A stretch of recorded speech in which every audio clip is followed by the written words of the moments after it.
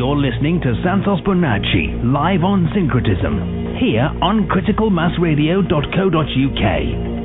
As above and so below is the holy science you need to know astrotheology. Because now it's our turn. You're listening to Kate of Gaia on Critical Mass Radio. The game is up. Now it's our turn. Indeed, it is. Welcome to Friday night, standard night for syncretism with Santo Bonacci and yours truly, of course, Kate of Gaia, sitting co-helming here on a wonderful Friday evening of uh, watching this planetary system crumble to the ground. Um, yeah, it's just been oh another normal day for us anyway. Uh, Santo, my friend, how are you doing? Very well, thanks, Kate. Yourself? Good, good. Yeah, we're getting uh, we're getting things done here, and uh, I just love watching it unfold in real time once you learn how to see headlines as being allegorical clues versus literal effects. If you believe the headline, then you're kind of going, "Oh, that's the game." No, you're missing the you're missing the fun. So, uh yeah, uh it's going to be going to be a fun night, methinks.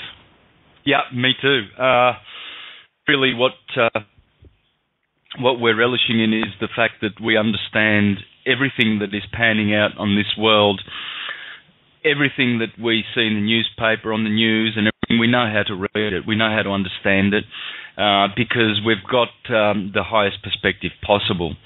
And um, that is achieved once we awaken to who we are. And so important to know self. This is the most important thing that we can do now. And as we do so, oh boy, you watch the fictions crumble. They, they will crumble. And um, the master of knowledge is the master of the ecliptic, period. You don't know the ecliptic, you don't know shit. That's it. That's all I've got to say. You've got to know, you've got to know the ecliptic. That pretty much covers it. Yeah, you're absolutely right on that. Um, interesting to note that, uh, you know, the, the ferryman, uh, Charon, right? Uh, that ferry, yep. ferries the souls across the river Styx to, of course, Hades or Hecate or whatever you, um, Pluto, uh, as we like to see it. But isn't it interesting to note that when Charon comes to the shore uh, to pick anyone up, he is only going to pick up those that have a silver coin in their mouth. And to let people know what that means, I know what it means allegorically. As soon as I I see that concept, it's like, oh yeah, well, only those that speak truth are allowed on the boat to cross. And remember, Pluto is all about destruction and creation. It is both. It has to be both. Everything has to be both good and evil at the same time. And uh, if you're caught up in any sort of drama regarding um, negative feelings, emotions, the things that are stopping you, uh, then you are still being polarized to one uh, degree or another. And this, for me, uh, is the toughest thing for people to finally come to terms with, and um, there is much there is much bliss in the golden rule, because that which was wished upon you is going out in the mirror. So this whole notion of vengeance is already a predetermined thing anyway. Um, let nature take its course. I, w- I refuse to in- interfere with it any longer. That would be like trying to change the, the planets and their orbits and, and what have you to mess the game up. No, I don't mess with nature anymore. I'm done with that. So, yeah, speak truth, and the boatman will pick you up. Stand the lies, and well, guess you're going to have to wait another round uh, to figure that one out. Uh, as I depart on a lateral timeline where um, others will stay in the literal. Yeah, add it, add to uh, speaking truth. I would say um, save your oil, your oil, because uh, remember the five foolish virgin, virgins that uh, so desperately wanted to be married with the Lord, the Lamb, the Saviour, the higher mind, but uh, they ran out of oil, so um, they didn't have any spare oil in their receptacles. They had to go off at the hour that the Lamb, the Lord, the Bridegroom came. And the five uh, wise virgins, oh yeah, they went, they were married. And um, in other words, this is the alchemical marriage. You know, the Rosicrucians talk about this all the time. And the alchemical marriage is the marriage of uh, the higher mind, you see, um, where Jesus said to his disciples, to celebrate the next Passover, you must follow the man with the water pitcher in his hand and go to the upper chamber. Well, that's the third ventricle, of course. But um, Aquarius is um, standing right at the fontanelle on top of the head, the suture where the um, energy of the toroidal, toroidal field enters into the in the middle of the head, the North Pole where Santa Claus lives. And uh, so this is where Aquarius is pouring in his waters, you see. So what we need to do is to allow those waters to come in. They need to flood in from on top, from on high, from heaven, head. And what's happening is that uh, most of the um, the plebeian masses that have been dumbed down by Rome and all of their pornographic, uh, pedophile churches, etc., propaganda, and all sorts of mind control called government, have uh, stripped people of that and they've blocked that um, flow coming in from the top of their heads. And the other thing is, you know, they don't have that Holy Spirit flowing through their bodies, which is key energy, Christ King energy. And um, mostly it's blocked because they go around wearing shoes all the time. Not many people earth, you know, on a daily basis. But if you don't get five or ten minutes earthing, you know, you, you're going to hang on to your scary demons from the day yesterday and the day before.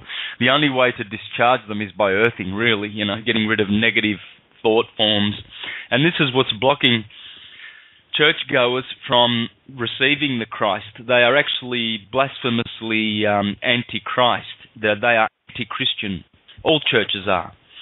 They are the enemy of the church, the true church. And the true church is the church within, that, each and every true Christian that bears true fruit um, is in uh, by hereditary, by you know having done the good works in past lives. Um, many of our brothers today on this planet do not have enough. Um, they don't have enough fire energy. They don't have enough fire in them from past lives. You know, they've been quite lazy and squandered their oils in riotous living in past lives. So they don't bring much spirituality with them in this life. And it is a big, it's going to be a big mountain for many of them to climb, rest assured. But um, as for the ones who, uh, and in particular the listeners on this table for sure, you know, um, they've done, they know in their heart of hearts that they've done a lot of yards in past lives because they bring with them, you know, a lot of suffering and a lot of toil and um, a lot of um, illumination from from past lives. You know, there's some great souls here right now that are, um, you know, allowing the the figurative New Jerusalem to to be created, which is just really just the higher consciousness. You see, the reason why Jerusalem on on on earth is so after city is because above the city in the etheric realms there is actually a city called New Jerusalem. And uh, the Templars and all of the esoteric churches, the Essenes who went to Jerusalem in the first place from Egypt, um, they went there because of this um, this Metatron New Jerusalem uh, crystal um, city that is just above the hills of Marwa. Marwa meaning the mountain of Mars. Every great city is built on the mountain of Mars. See Rome, see the Acropolis. Um, but uh, the mountain of Mars is, is the cranium. It's that's Mars is the top ruler. He's he rules Aries. He's right on top, you know. Um, and so, every physical city has its etheric city. And along the beautiful leys of the earth, the beautiful um, dodeca icosahedral um, energy lines of the earth in the ethers, just above Jerusalem is one of the most beautiful crystalline cities, you know, known to man.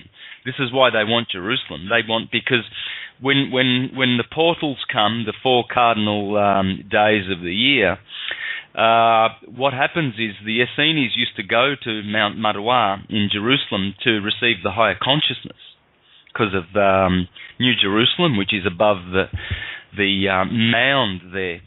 um, it is a holy place. Rest assured, it is a it's a very holy place. All of those places are holy. You know, they're not um, unholy at all. It's just the uh, the unholy uh, uh, usurpers and uh, conspirators against humanity that have taken those sites from us and have used them in inversive ways to feed, continually feed their demon that they created many thousands of years ago.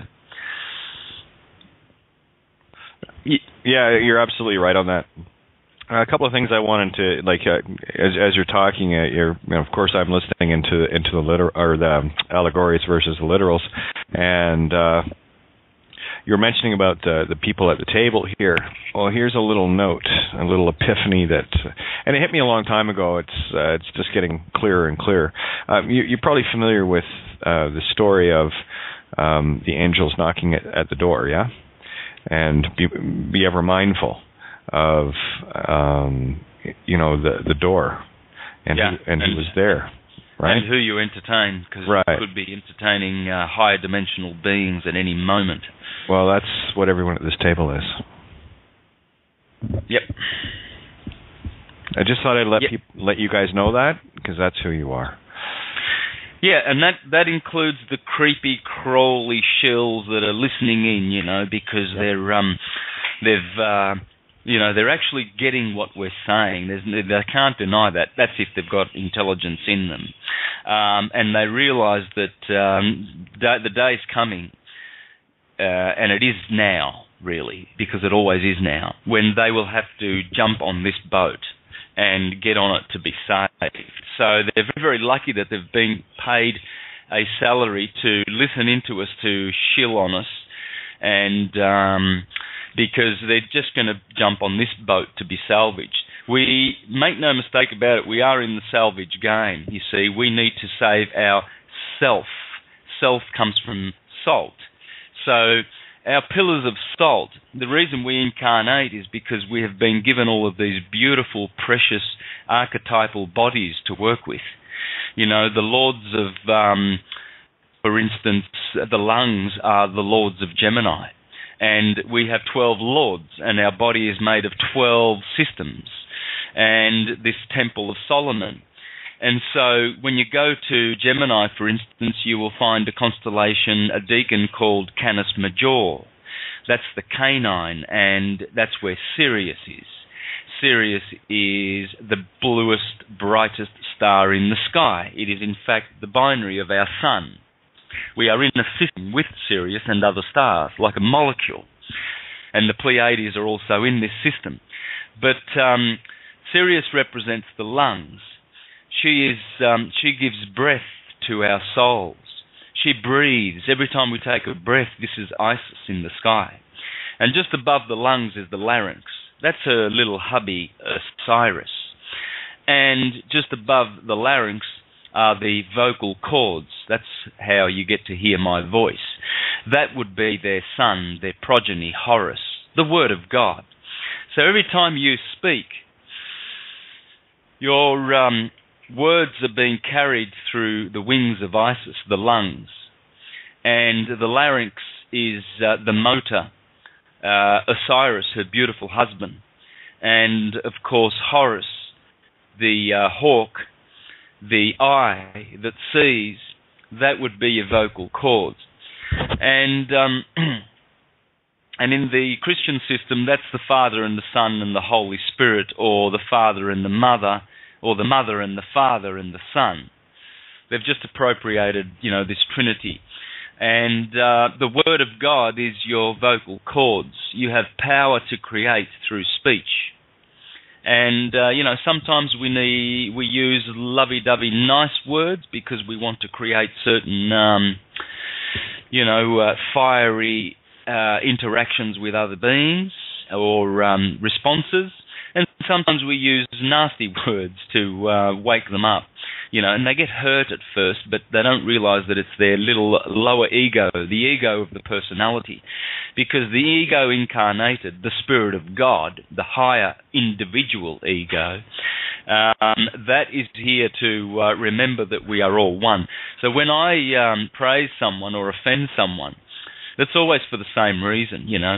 Um, it's criminals like uh, Joe Dolezal Sr., David Simonton, and scumbags like that who, when they use nasty words, rest assured they are doing it to take away your energy to steal from you, to vampire from you, as he has done with Jordan Maxwell's beautiful, beautiful wisdom.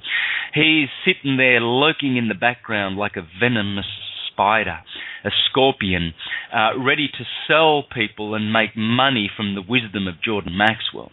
Well, Jordan Maxwell will one day have to leave and depart this realm.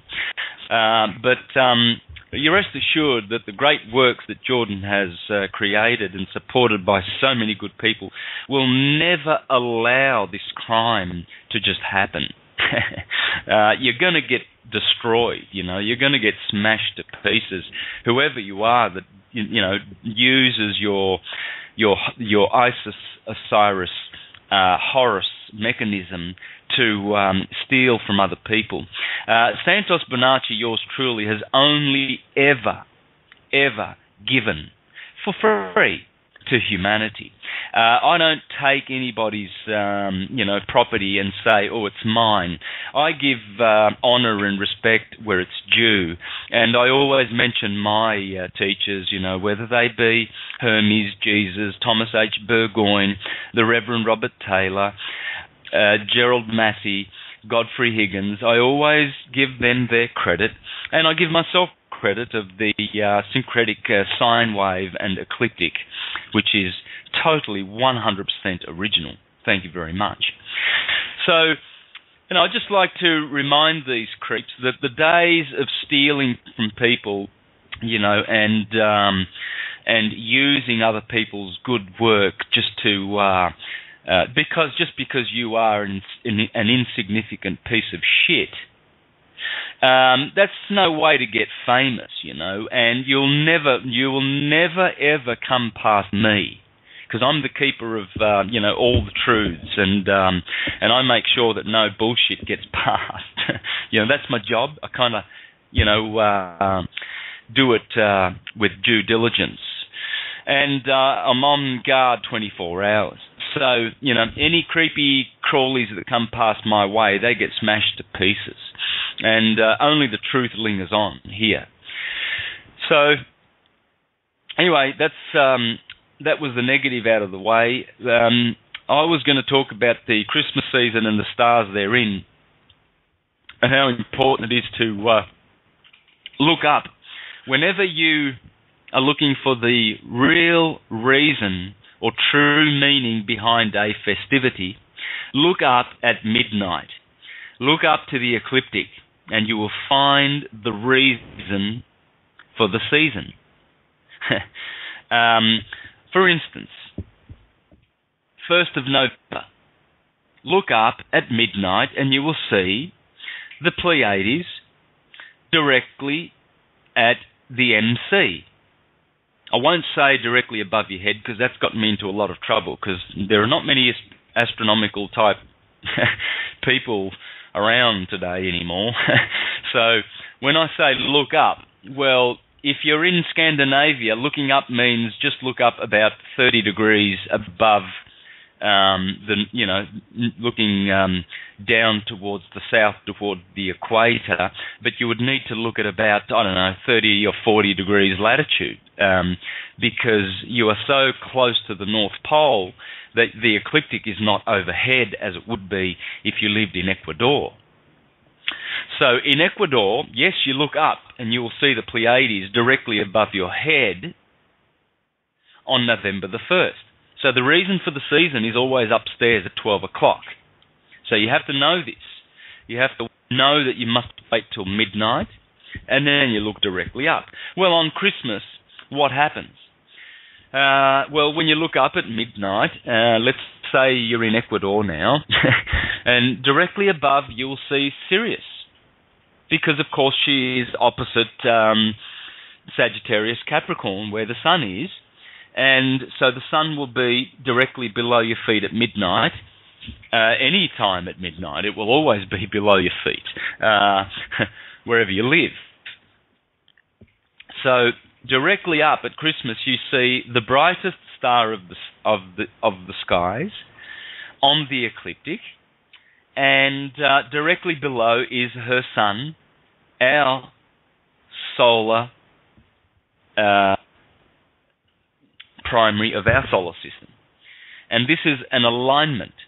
It's an alignment of Sirius, Earth, and Sun, and so it is also celebrated on the 24th, Christmas Eve, that this at midnight, that this is established as as the first moment of the sun returning back to the Tropic of Cancer and commencing his climb on the ecliptic. So, so what you have is uh, directly up up above. You have the reminder of this Isis that we are in a binary with Isis, Sirius. And so when the sun is conjunct Sirius, the opposite of this um, season we're in now, around about July 4th, which is um, uh, Aphelion Day, the sun is conjunct Sirius. But uh, on Christmas, during the Christmas festive season, midnight, you look up and you will see at the top of the Christmas tree um, Sirius, the brightest star in the sky. And not too far from Sirius, uh, probably only about, I don't know, 15 degrees, not too far at all, you'll see the uh, three stars in the belt of Orion, and you'll see them coming from the east. They're not coming from the west. Every, all the stars along the ecliptic rise in the east. And this is the three wise men that follow the star that come from the east to see where the sun is born. Well, the sun is born at midnight because the gospel tells you that. It says, and they follow the star till the star stops and hovers above the house where the Christ is born. Well, that would be Cancer. Um, you see, because you look straight up and Sirius is in between Gemini and Cancer, and right near Sirius there are two stars, one above the ecliptic in the north and one below the ecliptic. They're straddling the ecliptic, and this is these are the two stars are called the two donkeys, the northern and the southern donkey. Uh, Asellus borealis in the north and Asellus australis in the south, and they form a a cluster of stars in the center of the sign of Cancer called the manger. And so this is why you always see two donkeys in the manger. Because at midnight, when you look up to find the reason for the season, because that's where it'll be, won't be anywhere else. It will always be above your head at midnight.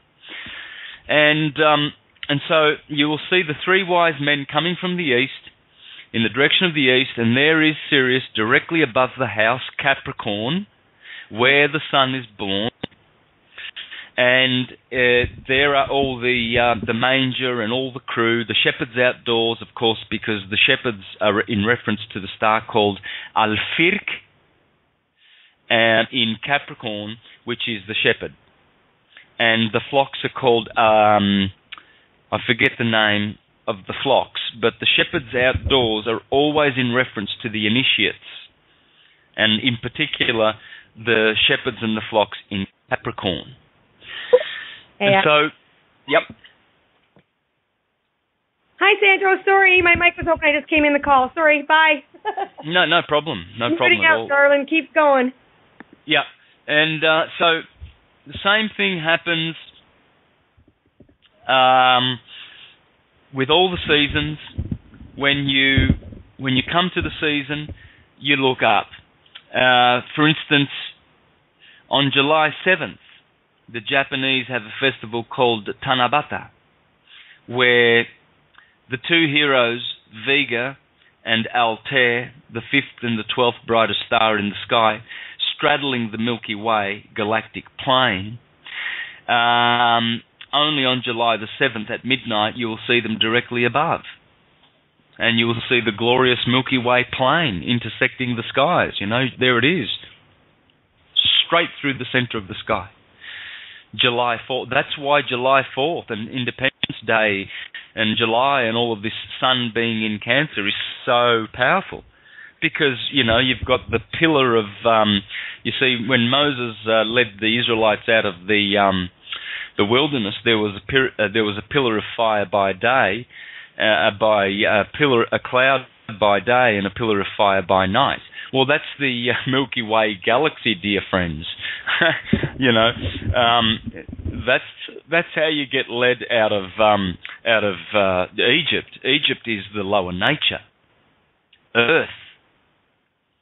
And so to get out of her, my people, Babylon, Egypt, you know, uh, I don't know, any other place, Rome, it, all these places you've got to get out of in Scripture, that's just dealing with the lower nature. And so the Milky Way, the pillar of fire and the pillar of cloud um, that Jehovah erects in the wilderness, these are our these are the um, the ecliptic and the galactic plane in the heavens, and these are the only guide that we have and always will have. So the sooner we get back to the science of the stars and be true pastors and ministers, minister comes from uh, moon. It also comes from Ammon, because Ammon Ra is also the moon god. So you've got minister, um, you know, Amin or Ammon star. So to be a, a minister, minister is to, um, you know, praise the Lord Jesus Christ. Amen. There's t- there it is. It's telling you. It's telling you in your face. In the name of Jesus, Amen. you know, the dunces in churches will always be using that word, and and good on them, because they are attributing glory and praise to our star in the heavens, which is called Aum.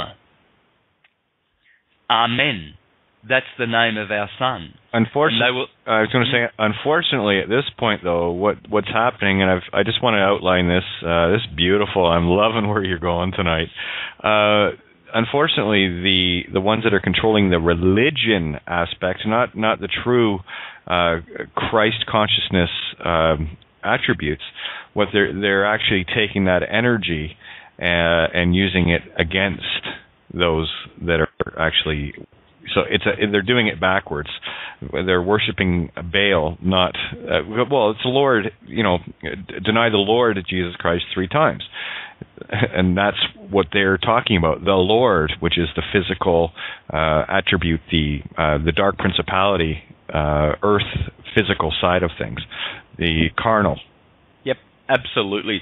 And uh, how they do this is by by um, counterfeiting, counterfeiting or exchanging the true Lord with their demon. So when they go to church, they do actually get baptized in the Lord. Rest assured, when they get baptized and are born again, they are being born again for sure. But it's it, it's in their it's being they're being born into their their demon. There is there are demons in church and these are just um, you know they're not necess- they don't demons are not necessarily bad they are thought forms and they are just miniature demiurguses who want to be demiurgus.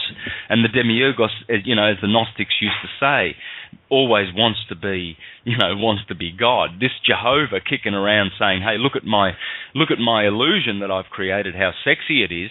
He's a wannabe.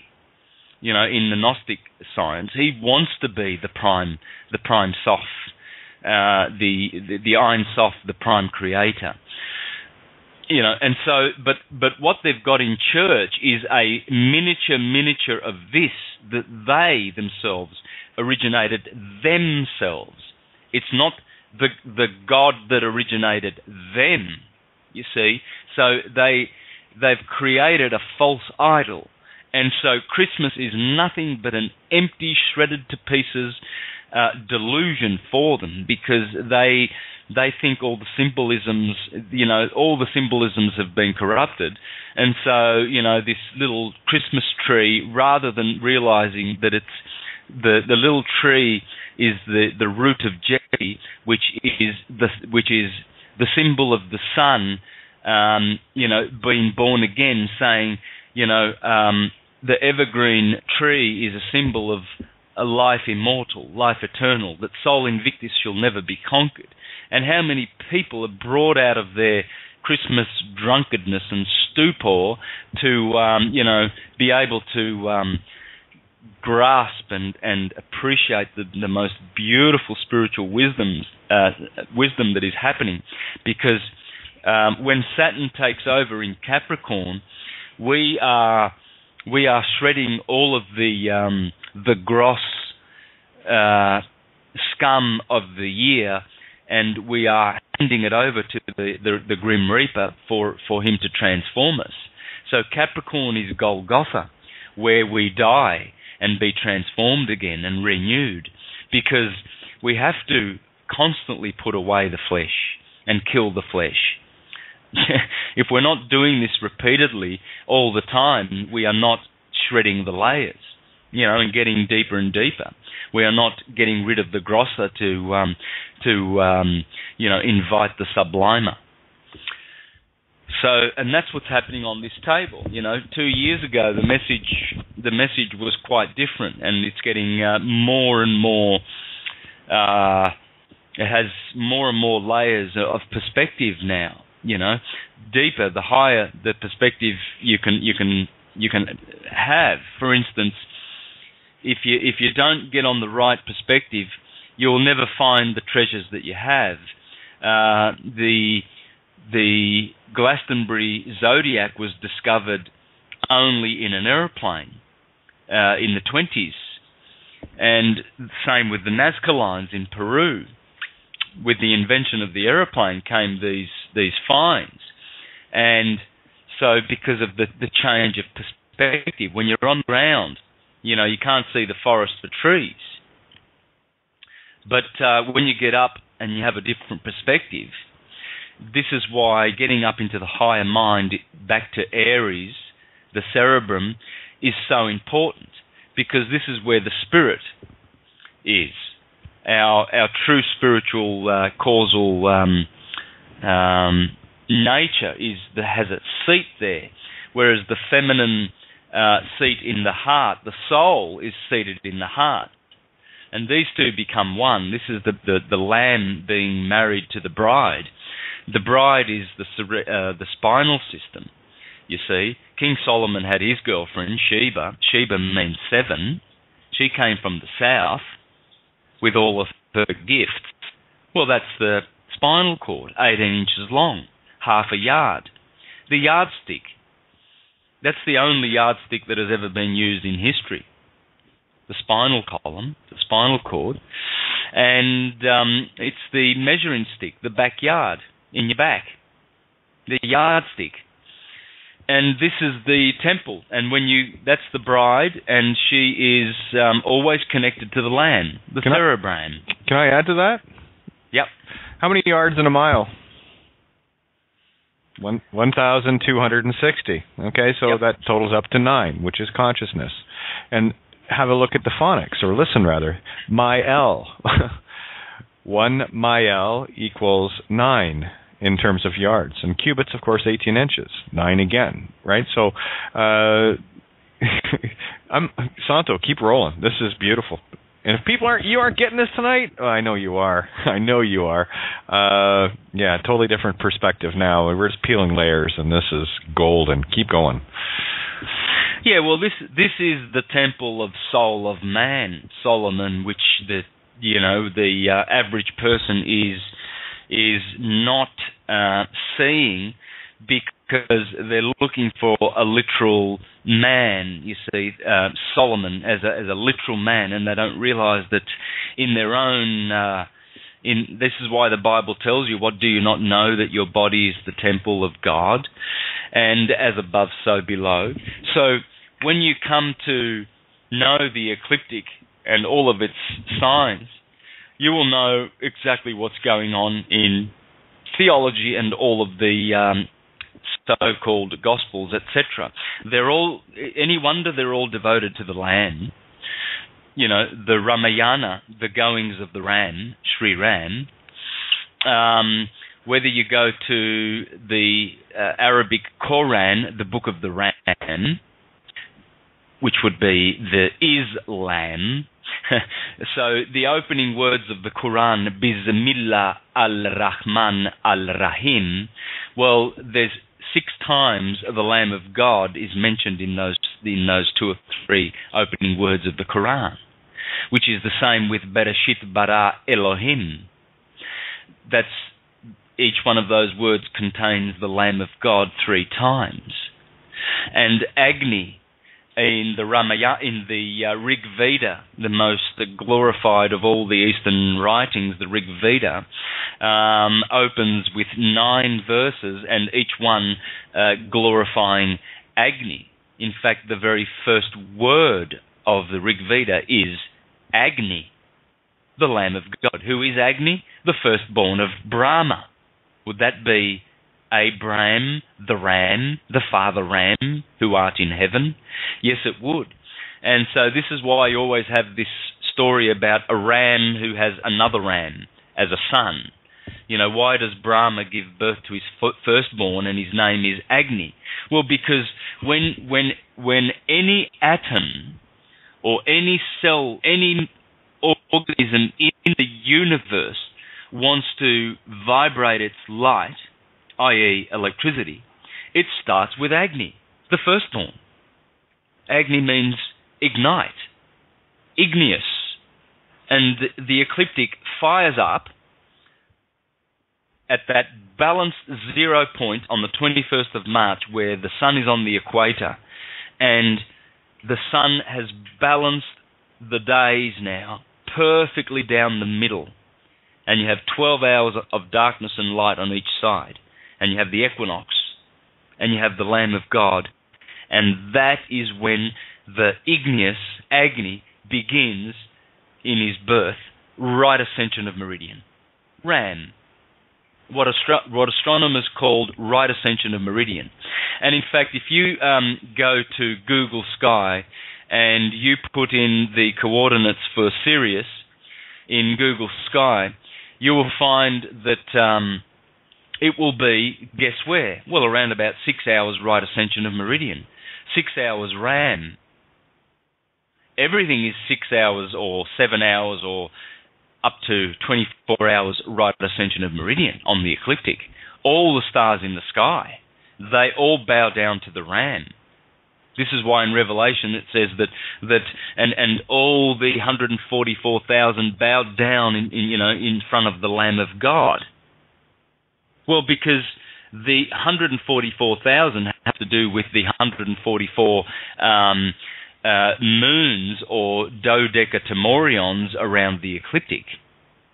You see, a dodecatemorion, when you get a sign of astrology, and um, you know Aries, for instance, which is 30 degrees along the ecliptic, all signs, are, uh, all uh, astrological signs are exactly 30 degrees, and there are 12 of them. But when you put a miniature zodiac inside each of those signs, that means there will be 12 um, zodiac inside of Aries. So each sign gets two and a half degrees. That will make up 30 degrees of Aries. Well, then you have 12 times 12 of these. And these are the 12 times 12 that make up the 144,000. This is why, uh, you know, there's always 144,000 with the Lamb right ascension of meridian on Mount Zion. Mount Zion is the ecliptic. you know, and so uh, always you will find these uh, stars that um, have their place um, in with respect to Aries. Um, always, they will always be right ascension of meridian. You know, GMT in the sky, and. Uh, the wonderful Firmicus Maternus tells us uh, something really, really incredible about Aries. If I can find it just really quickly, because it just came to mind, and I'm trying to find the um, the uh, quote in his book, but uh, just an amazing, powerful thing where he explained that all the stars. Oh, here it is. In the chart of the universe, which we have said was invented by very learned men, invented, well, what he means is, you know, he's referring to Hermes primarily. Uh, in fact, I will give you the um, the beautiful list of the men. He, he's uh, referring to um, and Nechepso in Egypt, Asclepius, Hanubius, uh, where is Hermes? Does he mention Hermes here? Yeah, well, anyway, in another place he mentions um, that. Yeah, okay, there it is.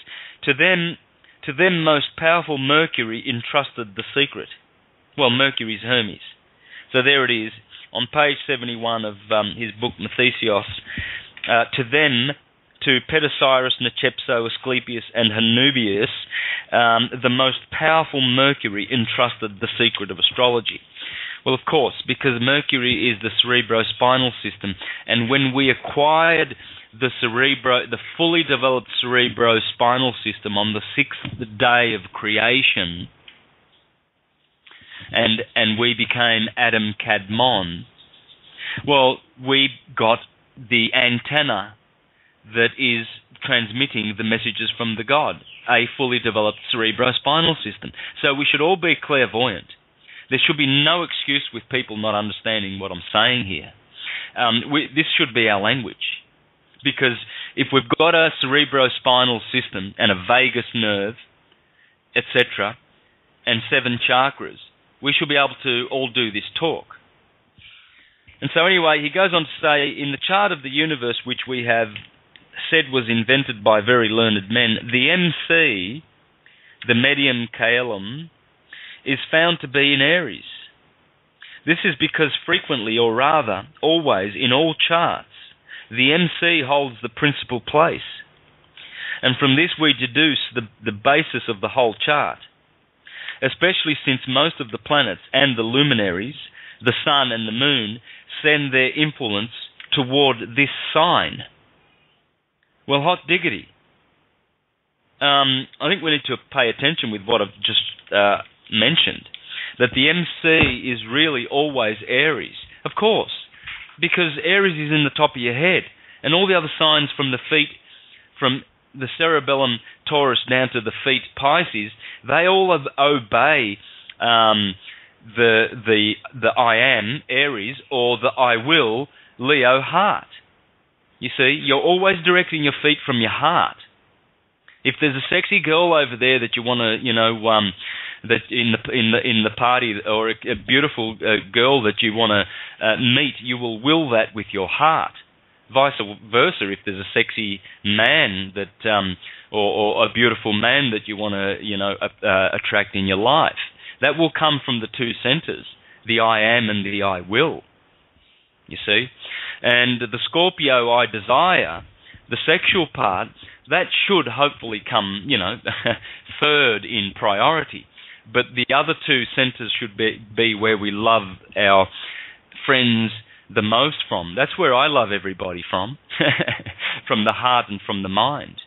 You know, that's why I don't mind if they don't respect me or don't, uh, you know, like me, because it's not about me. it's about syncretism, and it's not about their uh, lower personality egos that they're hanging on to so much.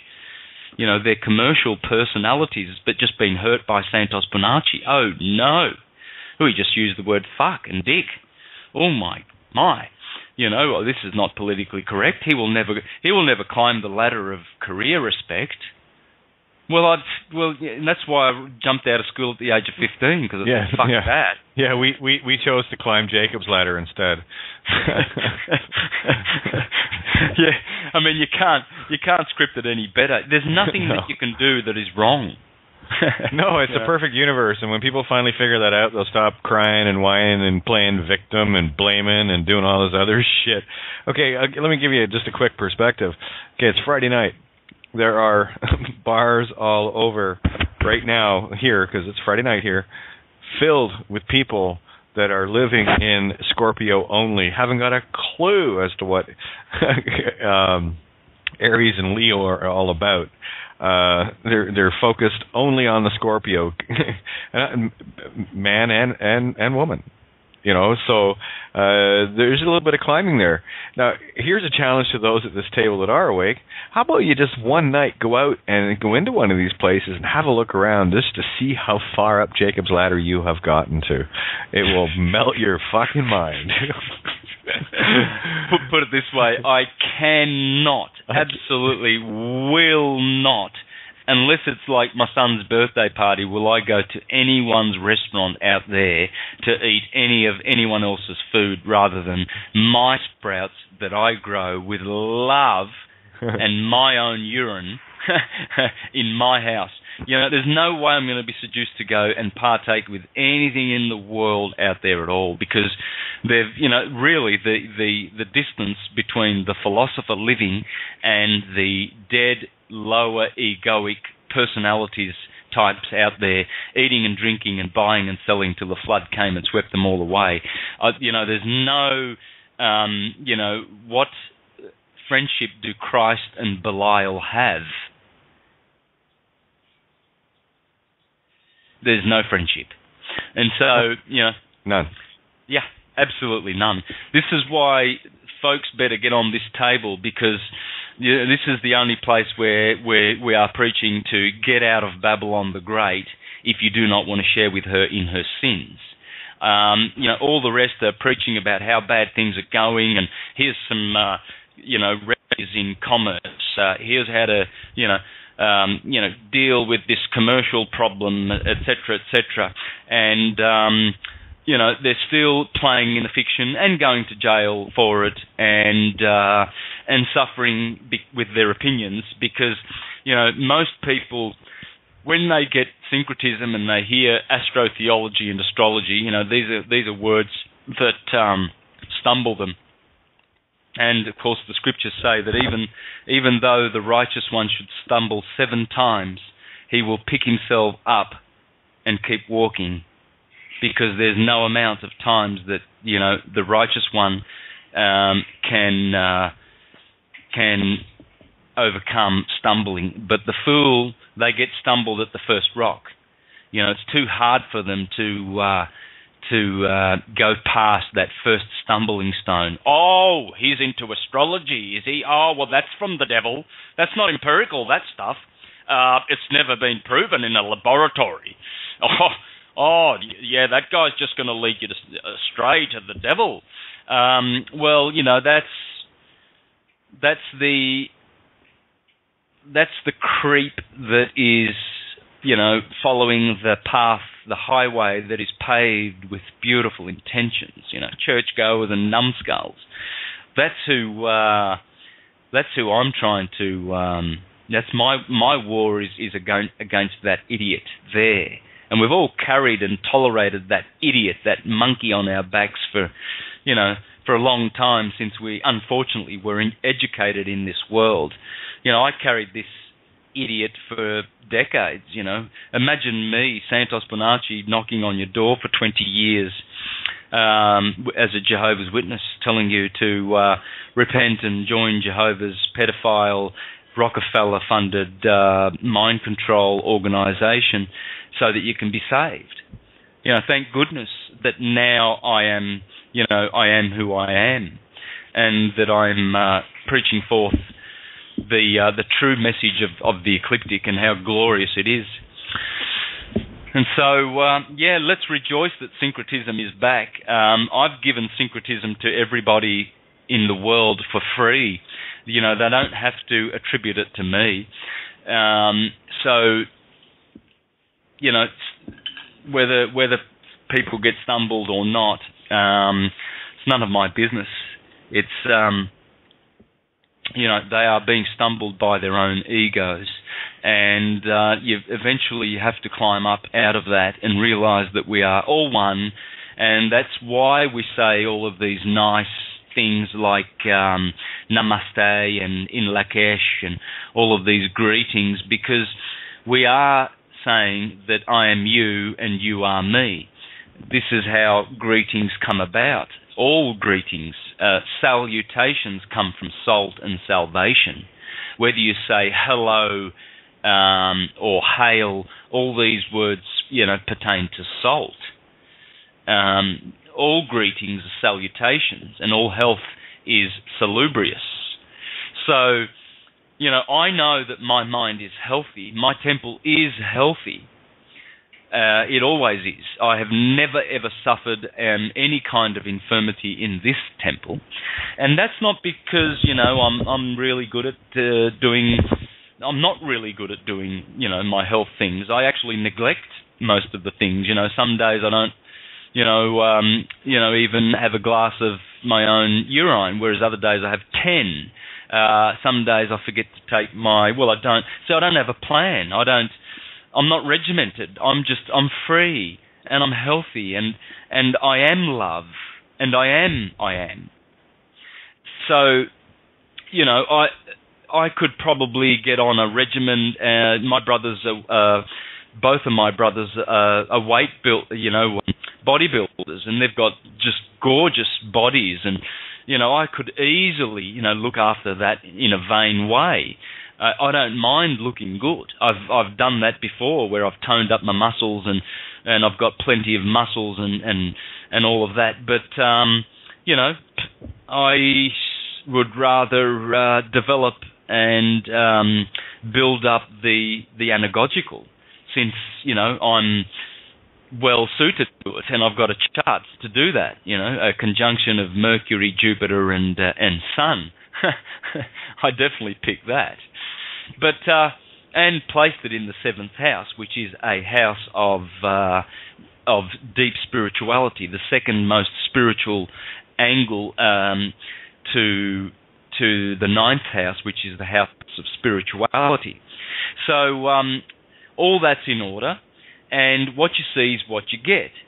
So um, we really uh, should be quite thankful thankful for this table, and what we should be doing is making sure that uh, we make copies of these files and stick it under everybody's noses and pester them with it until such time as they realise that there's only one true way to be king and priest unto oneself, and that is to know who you are. And this is where you know, we that day in and day out. Know thyself is what we are about on this table. And what are we? We are light. We are conscious light. We are identical to God. There is no separation. There is only immortality. There is only omniscience and omnipresence and omnipotence. That's the God I worship. Uh, what about uh, you? You know, I and I'm and I'm uh, calling out to churchgoers here mainly.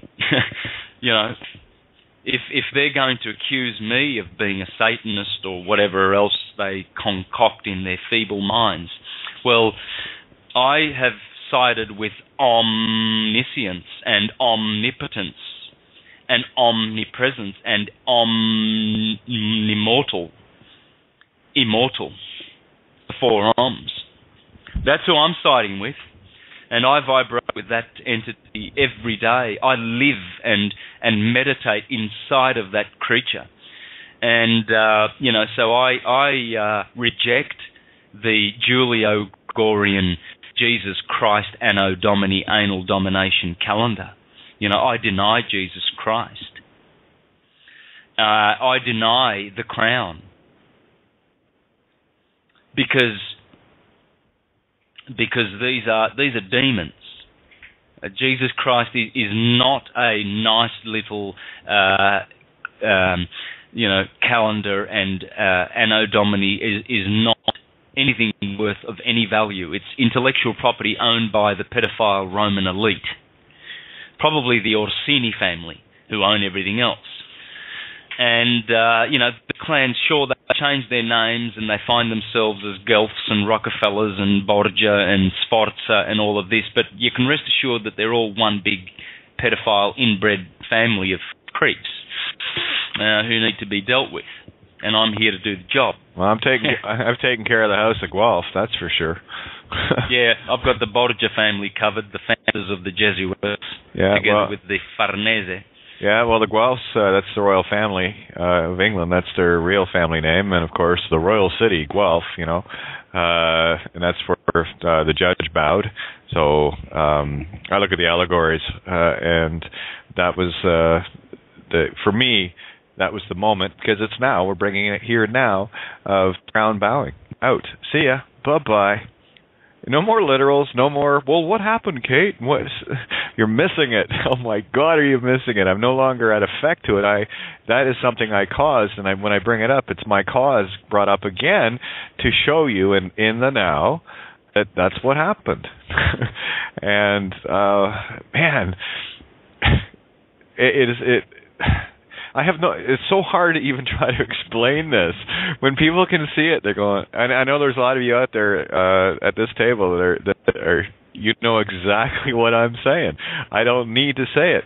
And isn't it funny that more and more um, I'm picking up, and others are picking up too, thought waves and thought patterns that uh, it, it's it's it's it's really getting magical and i'm really happy that i finally got to celebrate my first crucifixion and resurrection properly right and i don't mean uh, the words in the normal definition because it's only my intent that counts in there because i can shred those upside down and backwards so it is the concept of the the the ye must be born again so there we go. Those that came through the the happy crucifixion know exactly what I'm talking about.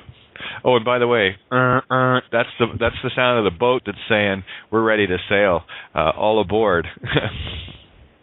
yeah, yeah, and so you know this, how lucky the uh, the criminals are that they have we, um, you know, to administer the justice that. Uh, that they deserve. You know, uh, I'm I'm reaching out to people like, say, the Lord Mayor of Melbourne, uh, Robert Doyle, and uh, Geoff Chettle, bar member, traitor to humanity, traitor to human beings by swearing allegiance to the bar.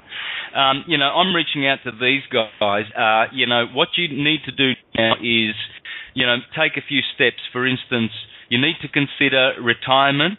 You need to consider repentance you need to consider perhaps um, uh, uh, I don't know. Uh, you might want to sit down and have a talk with uh, someone like myself because we're going to eventually be uh, be uh, taking over as the good little anarchists we are and teaching all of humanity how to be free from your pedophile gangs and you know your rates and notices and all that people trafficking going on with the little name.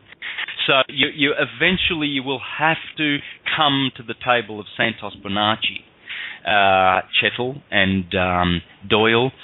So you know. Um, sooner would be better because you're getting more and more famous every single day. And lucky you are that it's me that's going to bring you down. You're very, very, very, very lucky because I've never, ever injured or hurt another soul in my life, and probably in past lives. Who knows? Uh, but um, but you have, and you are doing it right now, and I've proven it. And so, how lucky they are, Kate. Uh, you know, now is the time, and creeps like Dolezal to need to um, stop profiting from other people, profiting from other people, and making money or getting energy of any kind from other people's work is piggybacking and you are a pimp. So, you know, Dolezal, you're going to go to jail and you will be known as a pimp in jail. And you're not going to be treated nicely by the other that that's where you that's where you become a pimp L pimple, right? that's where you get mm-hmm. to experience all sorts of different kinds of getting squeezed and popped.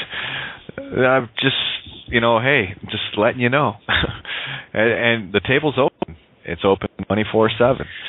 Yeah, and so what we're going to do with Bobby Boys, we're going to talk about getting the fluoride out of Melbourne's water, and we're going to stop those uh, planes that uh, are chemtrailing the uh, Melbourne skies. There have been many of them, but the next one that comes down, me and Robbie, uh, what we're going to do is we're going to set up some. Um, some uh, some of the uh, military equipment and bomb it out of the sky but first of all, of course, we will let them know through the uh, Rothschild's own Channel 7, Channel 9, and Channel 10 uh, moron stations that uh, only dickheads watch here in Melbourne. You see, we get Channel 10. These are free-to-air stations. These are these are full of pedophile.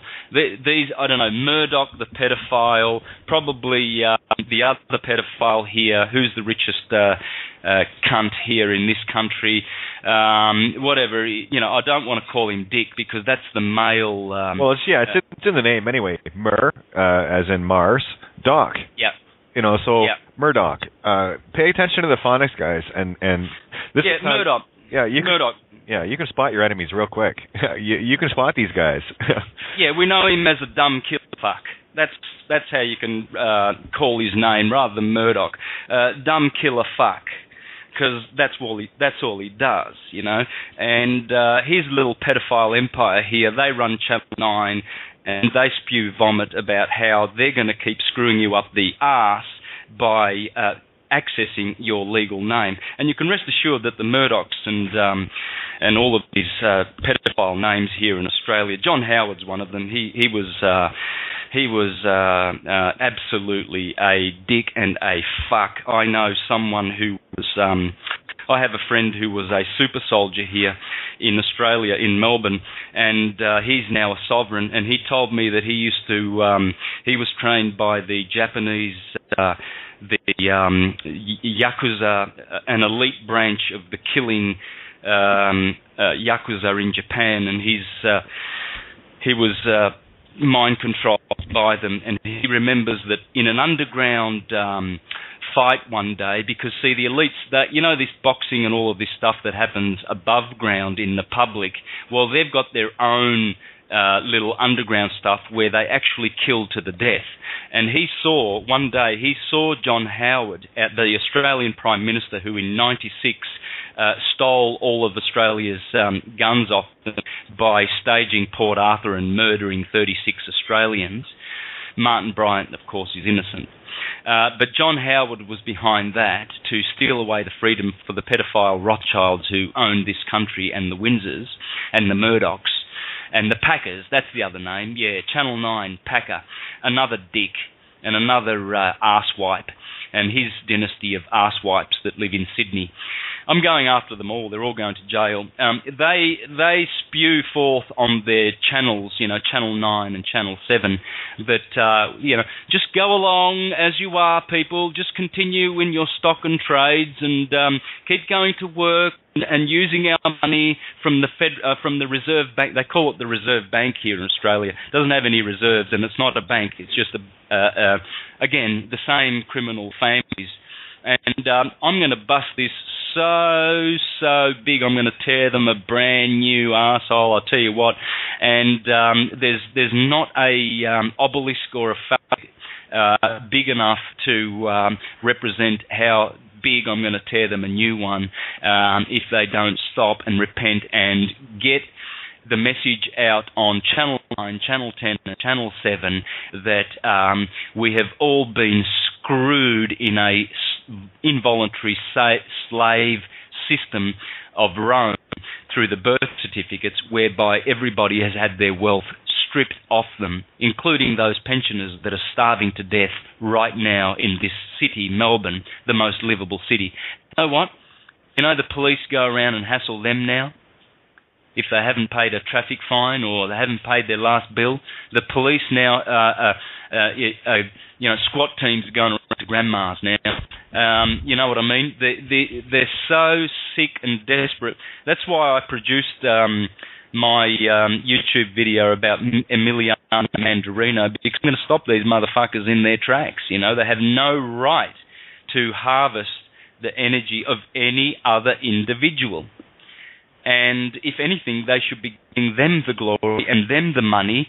Um, you know, so uh, as I do with everything that I present in my presentations, all the uh, the references um, are duly. Um, you know, duly made known, and so that each one can have their glory, and and we can show how that we stand on the soldiers of great illumined beings of the past. Syncretism was. It was around for thousands, hundreds of thousands of years. It's only been this very, very short J chapter of history that all of that has changed. Since monotheism visited this planet, you know, the, the, the, the three biggies, um, you know, Islam, uh, Judaism, Christianity, they, have, they have um, hijacked and co-opted the science, these beautiful sciences, and uh, inverted them, so that we have a world full of uh, killers now. Oh, they're very zealous and they love their their Muhammad and they love their Jesus, uh, so much so that it will actually shed blood. And when you shed blood, um, you know, when you shed blood wantonly and you don't repent from that, uh, in the afterlife, uh, all you will experience is a is a major big pain in the neck or or like a, a headache or a toothache. The the the agony um, is is the same as the agony that some people um, like return veterans that have lost a limb, for instance. You know, they've had their legs blown off. They can still feel the etheric leg, and they still feel the pain of it and carry it. Well, that is exactly the pain that you will carry in the afterlife once you lose the body, once you lose these gross atoms. So if you're experiencing pain now, I would address it now. You know, in my body there is no pain. I don't tolerate it, and, and if if it comes, I send you know the proper mental energy to dissipate it, and I only allow beautiful light forms to enter my body, and so you know nice, nicely compressed sound waves are bathing my body. So every day I will go out and do earthing and solar gazing and, and all of the alkal- alkaline stuff that I do. And so, um, yeah, that's, yeah, that's just, just wanted to toss a note there for uh, anyone listening that still might be involved in churchianity, which I, at this table I highly doubt. But uh, maybe pass this on to your Christian, so uh, so-called Christian friends. Ask them this question: uh, Who is the most quoted individual in the Quran? Most quoted prophet. Jesus. So again, tell me how much uh, uh, Christians are supposed to hate Muslims when uh, Jesus is quoted more in the Quran than the Bible itself. Hmm, makes you kind of wonder, doesn't it? I just thought I'd share that. Yeah, because as I've shown, you know, it's all about the ecliptic. Uh, the Quran, at least, is um, more um, genuine than the scriptures because the Quran actually mentions the 12 zodiacal signs, Aries through Pisces by name, in two places, and it mentions the seven heavens that God created, uh, the seven planetary bodies, visible bodies of the solar system. And so at least it's honest about this, and it acknowledges that Saturn is, um, you know, Saturn is at the top, and this is why um, Saturn Saturn Day is such a holy day, you know, that rest happens on Saturday and people go to the beach and relax and then there's Saturday night, you know, and Saturday night fever and all of this liberation. Saturn is the great liberator. It's his sacred day and this is why Jews, you know, um, acknowledge this day, but not only Jews, so do the lower castes. Um, you know, as the Reverend Robert Taylor puts it, the um, the Israelites and the Christians below the Jews, and the Hebrews and the Telestoi above the Jews.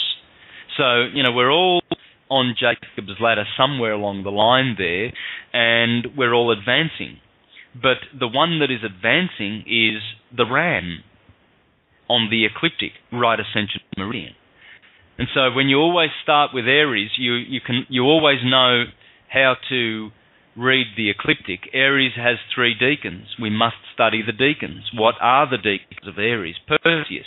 Well, Perseus has got Medusa's head in his in his hand. Well, what does that mean? Well, Perseus is Prometheus. You see, his sword is the fire of intellect, and it cuts off the lower nature and the arguing and the infernal arguments that come from uh, opinion, and he cuts off the medulla oblongata at the pons and therefore he, is saying that um, he is the light of the world, and he cuts off the starlit night of darkness, Medusa. and next to him is Cassiopeia, the Queen of Heavens. Well, you've got to get to Perseus and Cassiopeia. And then next to them is Cetus the fish, and he's got the band of Pisces in his mouth. So he's tying Adam Kadmon from Aries through Pisces. Cetus's job is to to um, keep Jacob's heel attached to the head. You know, Jacob came out with the, a scarlet thread attached to his hand, uh, uh, uh, uh, his foot. Of course, because Pisces has the band, and that band is connected to Aries, so the feet are connected to the head, and so um, they are bound in in, in a, an eternal cycle of necessity. And so Cetus is the whale that swallows Jonah, and who swallows Hercules, because if we are swallowed in Aries, you see, we are swallowed into the into the um, the higher waters because this is where the waters of the cerebrospinal fluids are. Cetus is the, the sea monster, and and the sea, sea in Egypt is is water, but but we know that everything comes from water. It's all water everything is water, and this is why all the letters in the the the, the capital letters in the alphabet A, M, N, V, and W all uh, symbolize the waves of water. A is aqua, ether, and um, air. So it's water, air, and ether. Um, w is water. M is marine, maritime. N is nautical. V is vapor, air, or water. And so you see that in the alphabet too, the patterns of the elements are there. And that's why the alphabet, starting at A in Aries and ending in Z, Zeus, Pisces, the ruler of Pisces, is quite appropriate. Because the alphabet is on the ecliptic, and it is through speech that all things are created, through Horus, the vocal cords. And so, abracadabra along the ecliptic, I've shown in my syncretism presentations, um, which are my, my best presentations, I think, because they expose the Abrahamic religion to be the Abra, um, the, the four Abra signs, um, Aries, uh, Cancer, Libra, and Capricorn. Um, these are all the abracadabra on the ecliptic because they are the four portals and they open to the seasons and they create the seasons as the sun goes along the ecliptic. Hence, the ram, Aries, is Abram, Abra. The, the scarab, Cancer, is the scarab, Abra. That's an anagram for Abra. Libra is an anagram for Abra, and Cap- Capricorn is an anagram for Abra. And so abracadabra is on the ecliptic.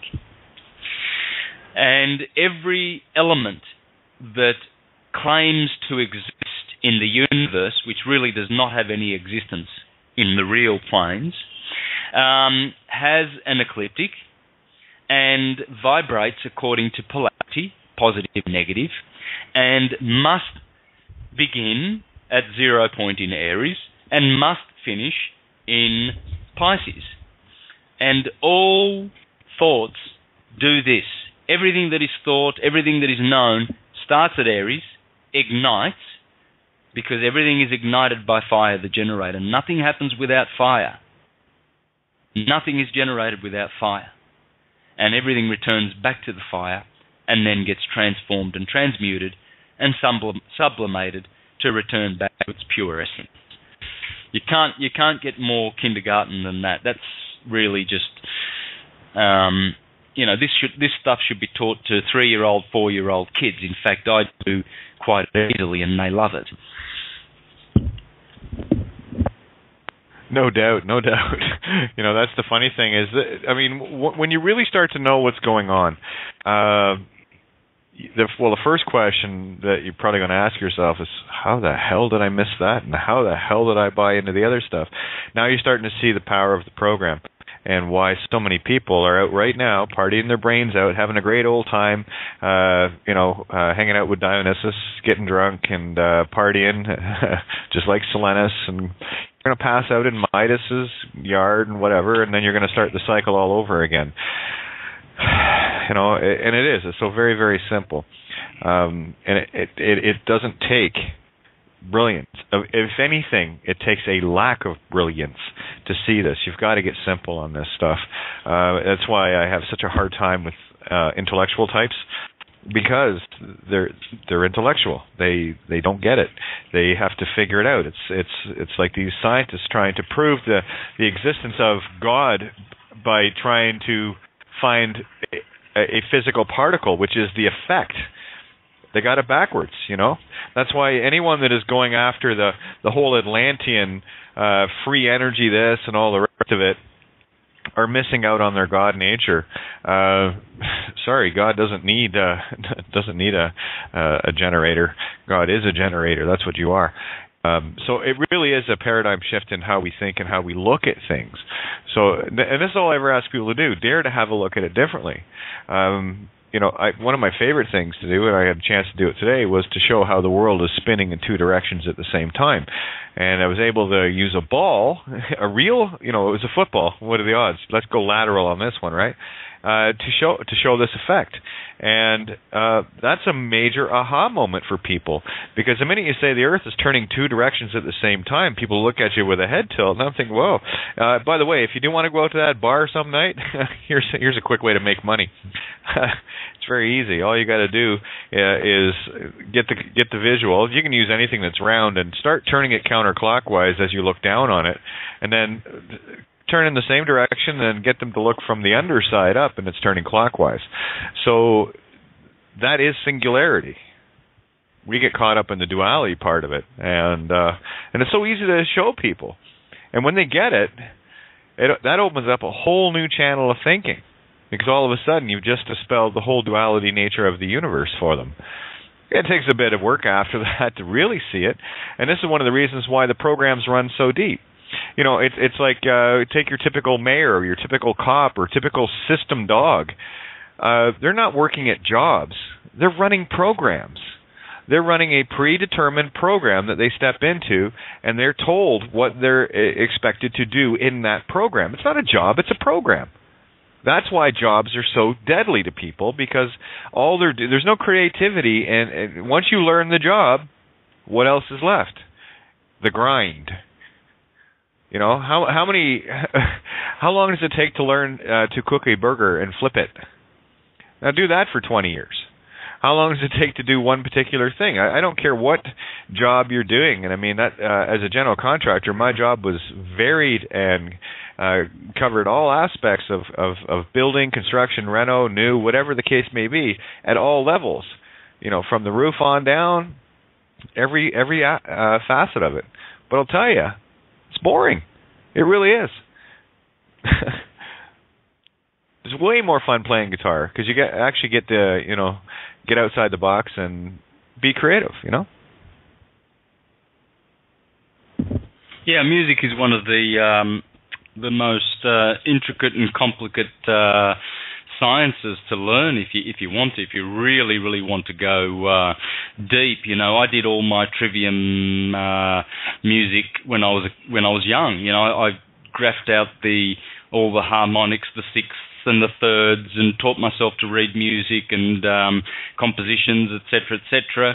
And uh, did all that stuff, and I'm glad, you know, I did that because, well, I don't I kind of refer to it now, but uh, usually I just uh, play how I feel and uh, by ear and, and whatnot. But um, uh, you know, when you have a daily relationship with music, which is what I have, um, you know, you're always engaging and balancing the two hemispheres of the uh, yeah, the the brain and the, cere- the cerebrum, and you are you know, balancing in the corpus callosum.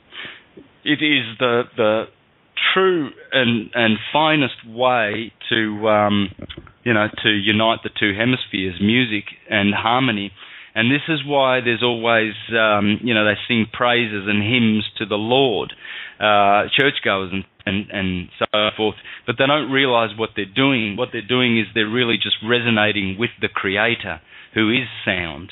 Uh, but of course, they want, uh, they still want their monotheistic, um, patriarchal God because that's how they've been sodomized. Uh, unfortunately, you know, they've been brutalized in such a way. Any any um, attendance to any of these so-called Christian churches will, uh, you know, reveal that quickly. You, you, won't you won't be in there for more than five minutes. You'll pick up the abuse uh, and the pedoph- the error of pedophilia in there, the mind control spirit that's in there immediately. You know, because there's always eyes willing to judge you, looking down at you in, in any church. You know, whether it's pastor or whether it's the um, the ignoramuses who think they're better than you there. Um, you know, but there's always peering eyes. Well, that's how it's been designed. It's it's designed that way so that you, you know everybody can be checked. So that the king has got all these churches in place, and you know whether they be you know uh, Church of England or Jehovah's Witness or Mormon, it doesn't matter. It doesn't matter to the Rothschilds. They fund them all. You know that is a known fact that they fund them all. Um, so that all they care about is that the idiots in there are waiting for God to come and save them, and in the meantime, they need to pay taxes to the government.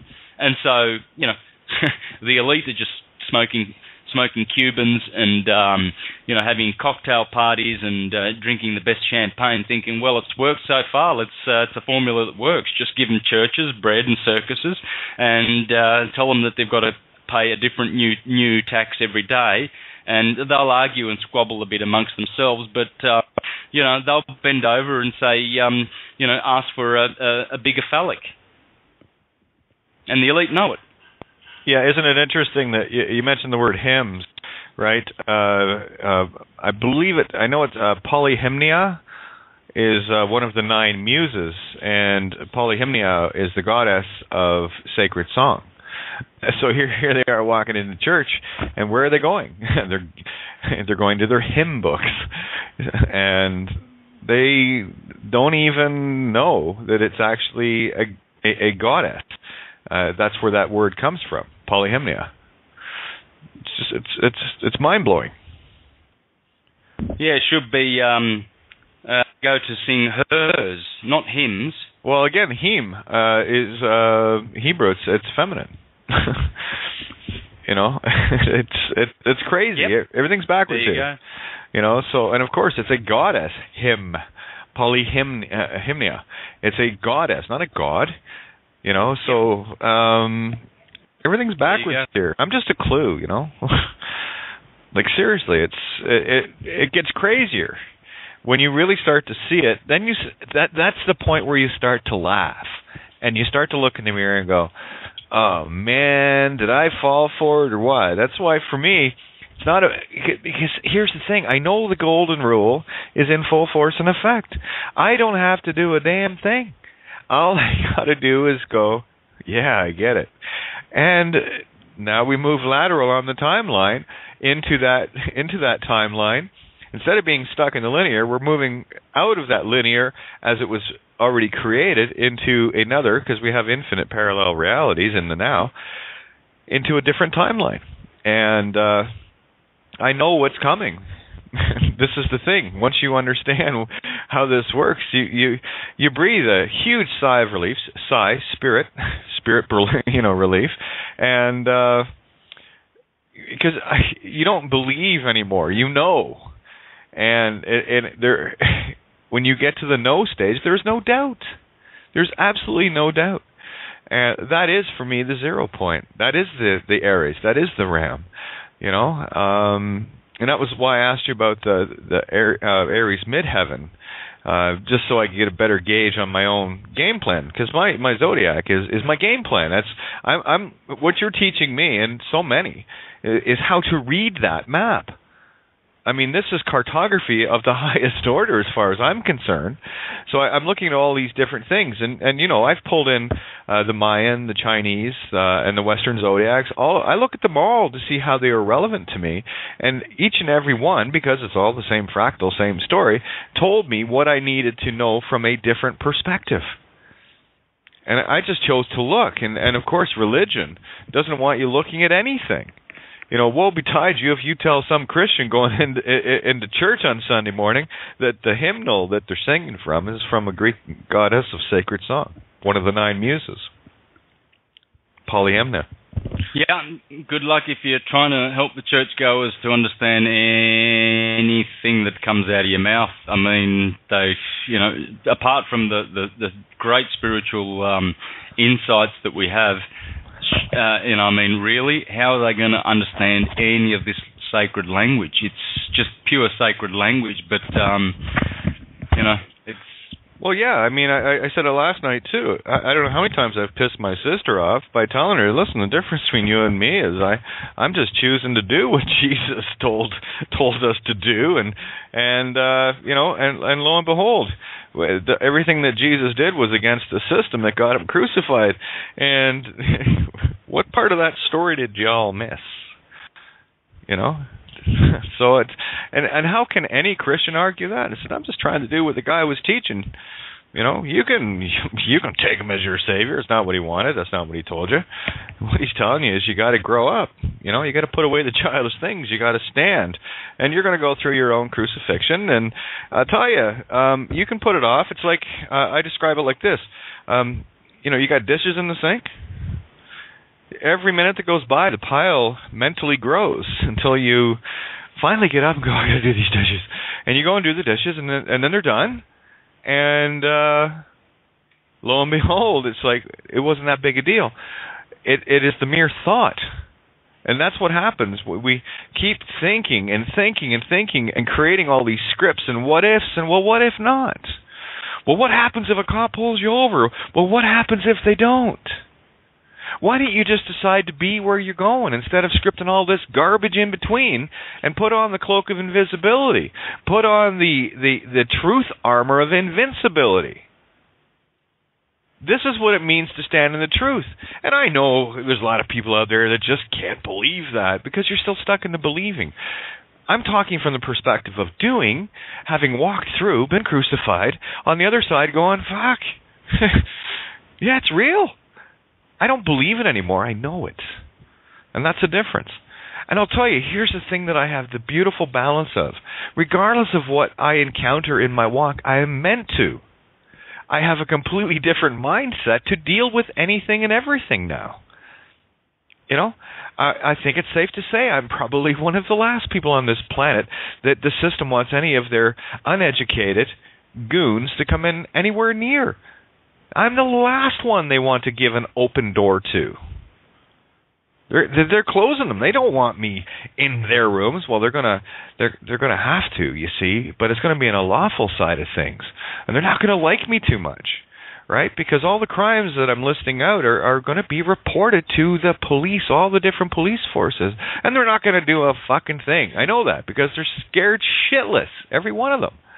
But I'll tell you, it doesn't matter to me because I'm gonna put it out there.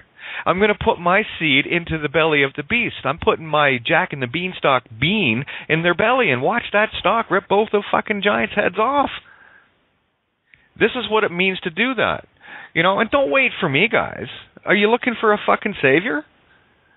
You know, don't wait for me. I've got my own game going on. I'm going to go. I think I I think it was Simon had went up to Jesus and was troubled, and Jesus was uh, at the time troubled, and Simon was going up to ask, you know, yet again another fucking mitten string question, and and I'll do a loose translation of the King of the King James of this encounter, you know, where Simon went up and said, "Yo, geez, bro, I've got this uh, blah blah blah." Jesus basically turns to him and says, "You know what, Simon? Fuck off, man. I got my own problems. Go and take care of it yourself." And that's what you got to learn to do. Now, I put the King James into the most literal translation you will ever hear because I make it real. I want you to get what was being said there. If thine eye offend thee, pluck it out. Okay, if you're doing something that makes you feel guilty and you hate yourself and you're harming others, stop fucking doing it. Is it clear? You're you are the only one that can look in the mirror and decide these things. And the joy of having people like Santo around is Santo can show you how to read your roadmap. So that it's not a blind walk down the alley waiting for something to club you with all the, the fears and the, and listen, fear is is an illusion. Yeah, the danger. I love going back to the After Earth movie. Danger is real, but fear, fear is insanity because you're scripting shit based on past experiences or other people's stories. Most of these things are not your own experiences. One of the reasons why I laugh at this whole free man, sovereign citizen, all the rest of this shit movements is because they haven't got a concept of script writing. And they haven't got any experience. Most of these people are coming in looking for help from others. Granted, absolutely, so did I. But I also, at the same time, said, "Well, you know, I I've got something going on with me that only applies to me, so I'm going to take care of that." And I'm going to work my way through it, and I'm hopefully going to find some truths and some some clues as to how to do this because it just didn't feel right, and I and I knew that if I looked, I would find something, and I did, and I just kept following that road. I kept walking that road, and I went through my own crucifixion. I mean, it was absolute uh, on, on December 21st because I had in my mind that I that I was looking at all the things that I'd went through to crucify me, and could I let all of those things go? Yes. I had to. You cannot be a real live child, Pinocchio, if you've still got strings attached. That's the message of the Pinocchio story. If you've still got strings, they're emotional attachments. If you have anger, fear, greed, lust, any of these negative emotions regarding any situation in your life, you are emotionally attached, Pinocchio. And there's no easy way to put this to anyone. This is just the way it is. I know because I had shit piles of strings that I had to cut. I had some serious, serious let goes. I went through the mill. You can listen back to uh, two summers ago. I was a fucking mess. Go ahead, listen. I have been able to chronicle my whole step. This is the joy of doing what I do because you get to, if, if you have the time, it's going to take you a few months to get, like if you listen to solid all day, every day, it's going to take you months to get through all my shows. But I'll tell you, you do that, and you're going to see the the Genesis to Revelation me. That's your journey. You are walking Genesis to Revelation. What part of the book are you in? Most of these people are still stuck in Sodom and fucking Gomorrah. okay? So gauge where you are. You can look at the zodiac and see what you need to fix. I love the zodiac. You've got your 12 disciplines, right? And you've got mirrors of them like uh prime example taurus and scorpio. It's all about the i have i want i have i want. You got some shit to sort out. And when you i'll tell you the taurians and the and the scorpios that sort that shit out powerful beings. If they can't sort it out they're a fucking mess. You know? Uh look at the capricorn cancer. There there's the i experience i feel. So you got to do the mirror of that. Well i don't need to experience it. I i i don't feel. So you've got to bring the quads together uh, Gemini to Sagittarius. I think I see. I think I see. Well, how about this? I don't think I see. Or how about I think I see not? Right? So you've got to put both sides in the positive, both sides in the negative, and work it together. Um, uh, Aries to Libra. I am, I balance. I am not, I'm not balanced. Okay, so these are the the clues that that I look at, and these are the gifts that Santo has brought to the table. And uh, I tell you, I mean, I, I I'm spoiled because I've I've had the ears of some incredible beings where I can converse, and this is the joy of having Santo here. This is why, at, and you know this, Santo. This table is completely unfettered. There are no strings on this Pinocchio. You speak oh. your heart and your mind. Oh, yeah. Well, I wouldn't be here. No, I, I know that. Neither would I. Not not in the mood I am lately. No way. And escalating it, uh, I would I would not tolerate. Uh, so uh, i hope uh, I hope that uh, we can have this platform and people uh, look after um, the people who are running it for us because um, it's absolutely the best place to be for sure. How about we do some charts then? Uh, I've got uh, Olive. Is that Olive? Is it? Um, yes. Yeah. Okay. so that's actually uh, we're gonna do olives here, but let me um, grab my mouse here. Uh, I just I've got a couple of callers on the board that have been patiently waiting. I know Mike's on the board. I've got his mic open already. If you want to jump in and say hi, Mike, before we get rolling on this, uh, let me just get my mouse going here. That would be good. Uh, okay, Mike's there. I've got. I just want to bring people in so that they know they're here. We've got Mike. You there, Mike? Yeah, how the Helios are you? Hey, fucking a. uh, I know we've got Ingrid in the call. She already said hi. Hi, Ingrid. How are ya? She's probably playing with the puppies. No biggie. Aren't you really funny? I was just saying, oh, I better make sure my mic doesn't accidentally unmute, and then you go, hi, how are you? That's too funny. yeah, I know. Isn't it great? So, uh, Mike, uh, Mike there? Yes, he is. Hi, Mike. I heard him. Good, good. All right. So, Hear him? So we got we got Mike squared tonight. That's good. Area code seven two seven. That's Susie. Hello. Susie, how are you? You want to say hi? Yeah. Hi, Santos. Hi, uh, Kate. Love Hey. the show. Taking Yeah, we have- notes. Yeah, we have fun here. we have lots of fun here. All right, we got uh Di herself. I'm gonna bring everybody in, and then Santa's gonna do the start doing the chart. So I just want to get everybody on the board. Uh, Di, how are ya? I'm good, darling. How are you? Awesome. Can you tell? I, I yes, I can. I'm going to have to re-listen to this one because it's like mind is stretching, stretching. I know you Oh. get get get explosive around here some Love Yeah. I had a quick question for Santos, if I might, before he gets started Please. with the chart. Um, does he have an update, my brother, on your Syncrota wheel when that'll be available? Um, I don't know what's happened to the guy who's uploading it for me. He's in the middle of it now. He's in England, um, but I, he disappeared for a month. Uh, I don't know. He's, but uh, he ca he mentioned three days ago that he's back on it, and the graphs will be up soon. Um, but look, you know, if you if you want um, the sync rotor and any other graphs, just um, let me know.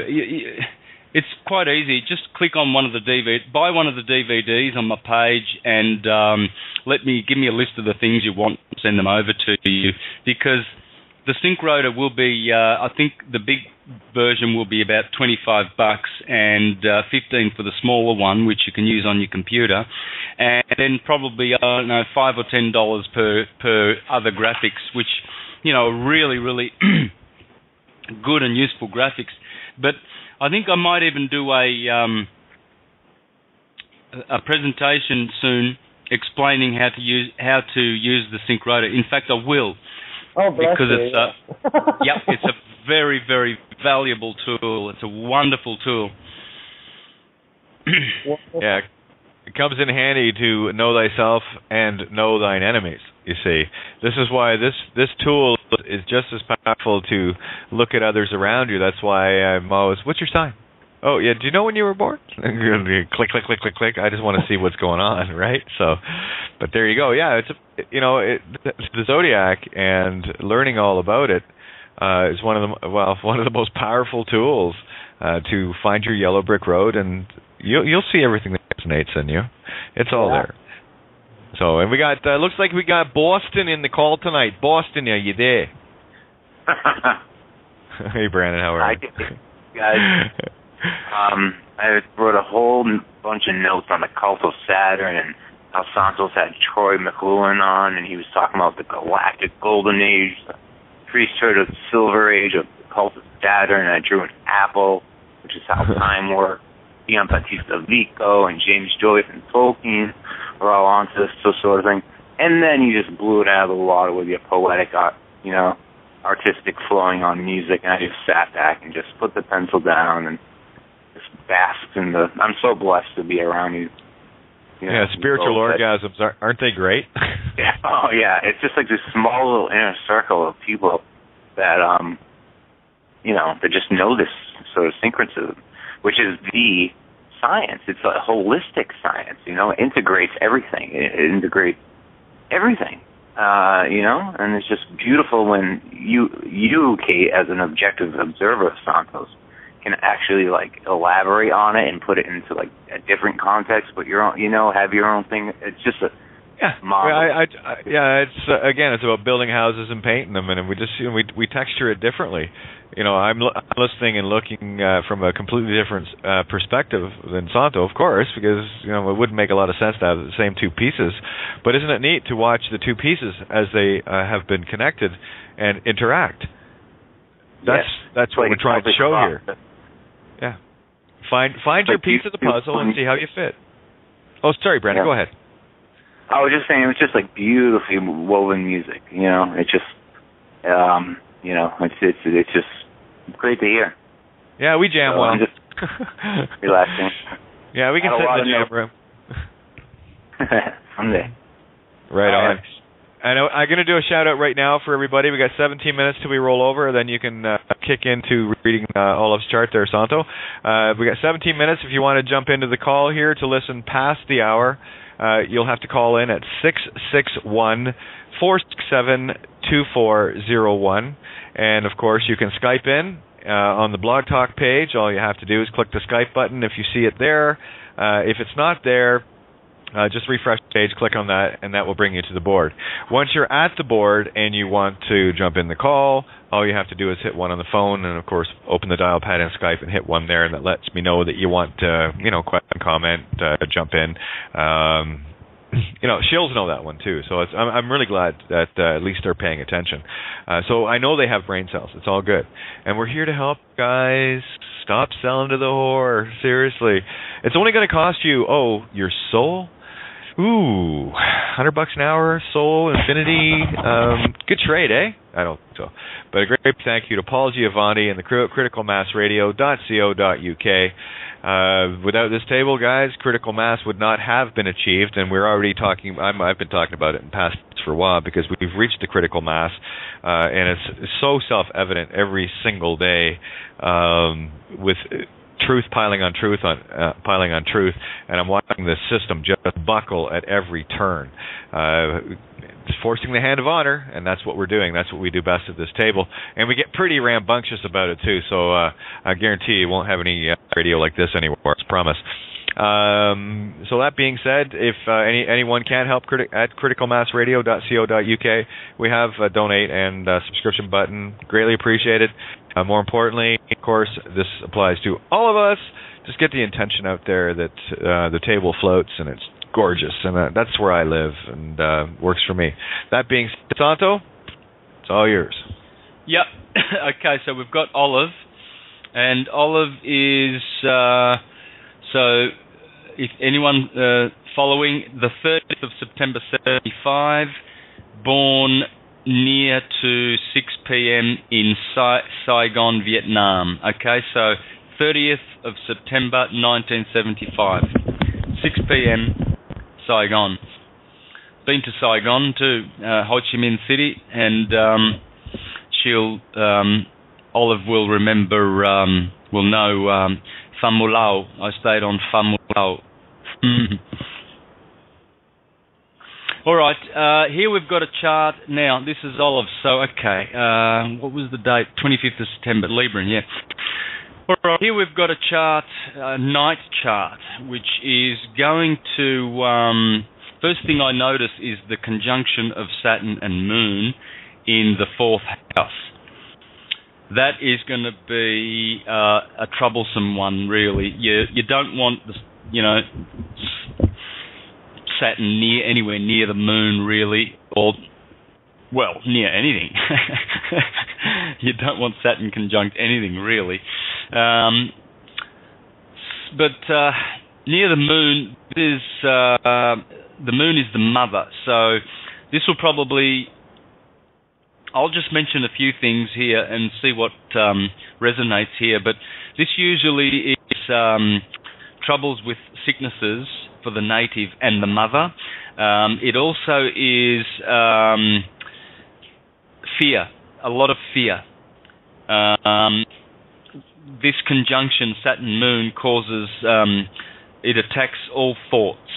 So your thinking is attacked, and and usually it's fear. So these, this is the negative. I'm bringing the negative side out, you know, um, as as you would, so that you can um, you know, jump on these things and, and correct them really.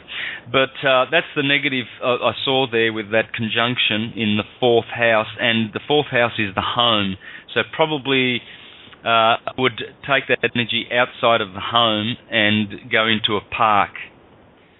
You know, go in, go outdoors if there's a park near near the home, um, because you probably have uh, more peaceful thoughts in a park than you would at home. So, and also the um, the the the maternal inheritance is lost. So there's no inheritance coming from mother when Saturn is conjunct the moon. Uh, and of course, it's a night chart, which makes this a little bit more prominent. In if it was a day chart, because Saturn is a day planet, that would have been alleviated. But it's more aggressive in your chart there, Olive. So, but but you've got a very powerful, um, very po- powerful chart because your ascendant is. Am I still on? Yeah, yeah, you're still there. All good, all good. Okay. Your ascendant is in Aries and your MC is in Capricorn, your DC is in Libra, and your IC is in Cancer. This is a cardinal angular sign. So you're a real go getter, I I think. I think there's a lot of um, there's a lot of Mars. Mars is obviously the ruler of your chart because you've got an Aries ascendant, but you also have Jupiter in Aries. Now, that is fantastic because Jupiter gets three points because he is the ruler of the triplicity of fire and by night. Then, hence, you have a night chart, a nocturnal chart. So Jupiter gets three points of essential dignity, and he is he is in the first house and the first sign, Aries of the ascendant. So this is you coming along as a very jovial person and very generous, but slightly in trouble because, you know, Jupiter's retrograding number one, not good. Well, not good for Jupiter because if he's you know, if he's free of retrograde, he, he he's charging more on the ecliptic. He's he's going swift, you know, he's going direct, and um, he's got better energy coming your way in your chart. But what it means is, you know, um, sure, you still get to have Jupiter in the first house, and you still have those qualities, very jovial and kind and generous, but probably, you know, you won't be appreciated for that. Probably you won't be um, uh, allowed to express that in every circumstance because there's always an obstacle or a hindrance. So that's the that's how you see retrogrades really. Um, but uh, that guarantees you a very very fiery fiery um, focus point in life. Your your ascendant is where you focus your sun and your moon. So your sun is in Libra and your moon is in Leo, the heart, with Saturn in there also and and Venus. So the love is in the heart, yes, but you've got this, you know, affliction there of Moon and Saturn conjunct. My little niece Lily, she has this conjunction, and oh, you can just see it. she's um, yeah, she's quite a um, yeah, anxiety and fear can creep in with this conjunction, and it also can um, can afflict the thoughts. So you'll only you will know what this means. But anyway, uh, so having the angles in cardinal signs gives you a lot of force. These these um, angles, the the cardinal signs, Aries, Capricorn, Libra, and Cancer, they have the most force of all the signs. You know, they have at least 50% of the force in, in along the ecliptic. Whereas the next signs, the fixed signs, they you know they get about 10, uh, you know they get about uh, say 35, 40 percent, and then the mutable signs are the weakest in terms of force. They're neutral, you know, they're so neutral that they don't really they're not about force. So, but the cardinal signs um, have to do with um, with motion and beginning things. So I, I guess you would be a good person to inspire others and motivate others and start things and and etc etc. You know, beginning things. Uh, Aries in the ascendant. I just want to check that before I move on. I think that's about all, unless you've got any questions, Olive. But Aries in the ascendant. When the ascendant is in Aries, this has a great predictive force for early youth. It denies the possibility of brothers, or, out of many brothers, it preserves only one.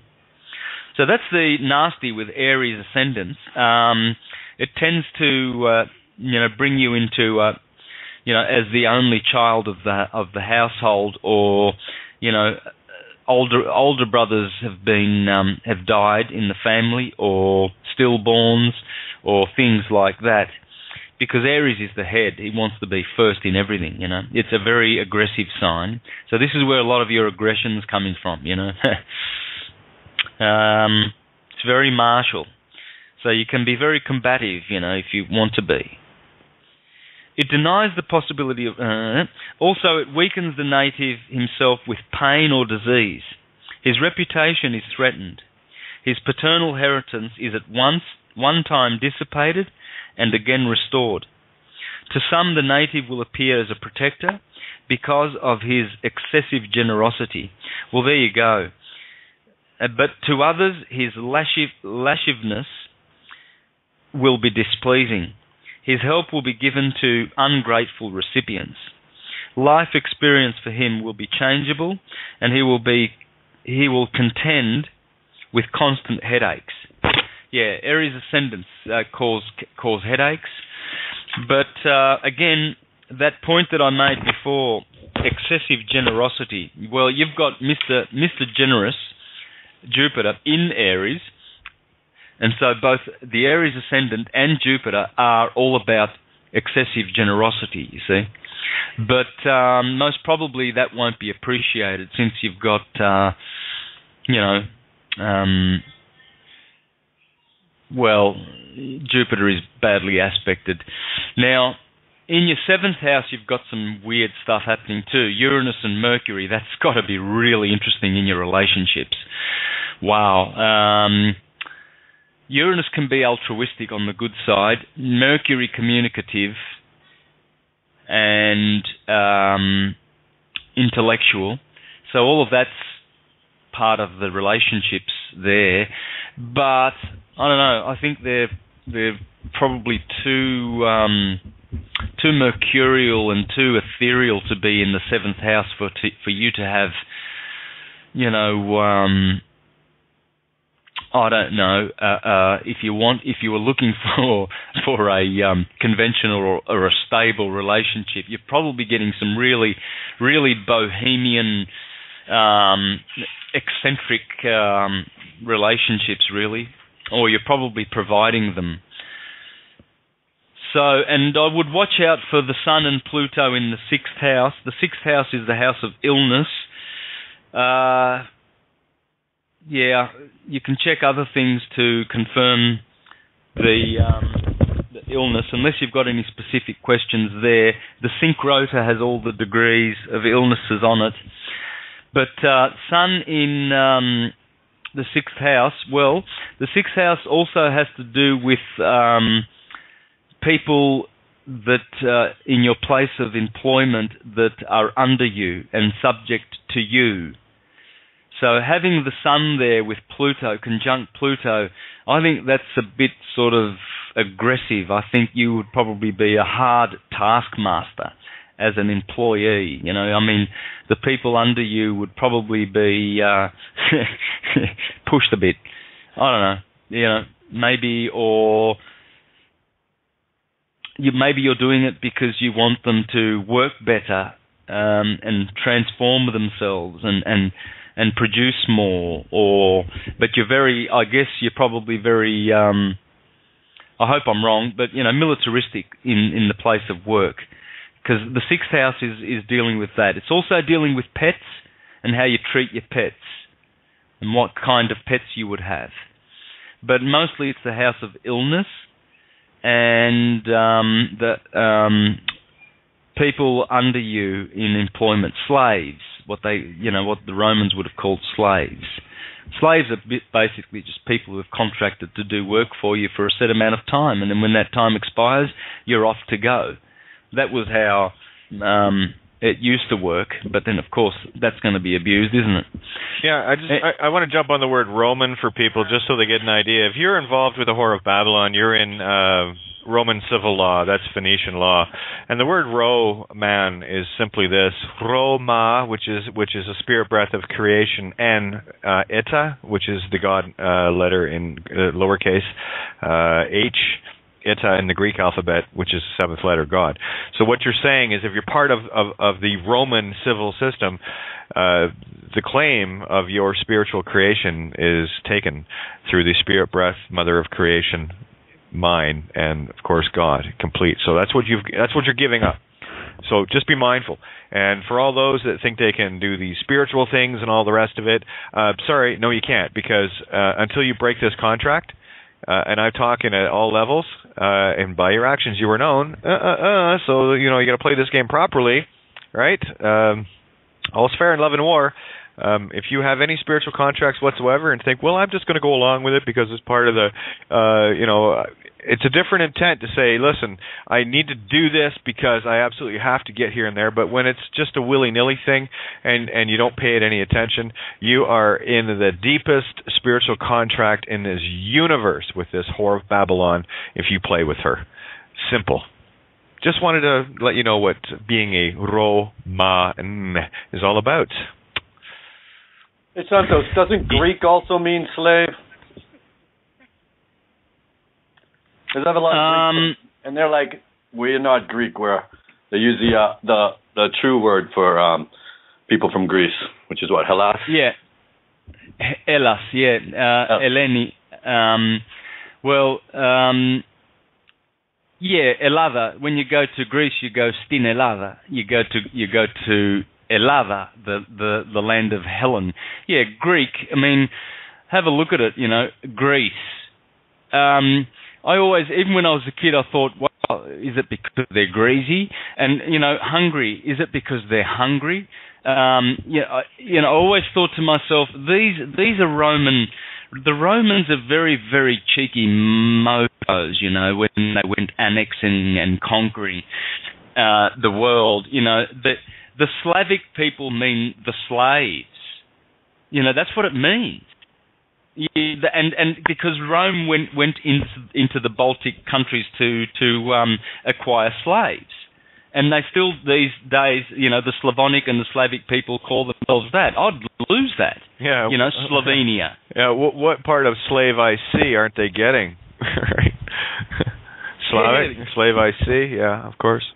Yeah, you know, um, this is what the Bosnians, Bosnians and the Croatians understood well. They were they were truly sovereign. That's what the Bosnian War was all about. You know, the Vatican had to uh, change rulership there. That's that's all it was. It was just bloodshed again by the Vatican. You know, the corporate elite, and um, you know they didn't want um, they want slaves. And when they go around naming countries, you know, um, they, you know, for instance, Spain is the Hebrew land of Iberia.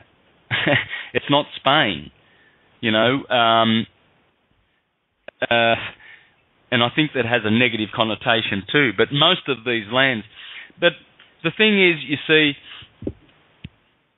uh, the whole the whole system is functioning as a false idol. It's it was created that way, and it, it's a distraction. It always has been. Rome has been murdering for thousands of years and pillaging, and um, for the purpose of enslaving us through the birth certificate, etc.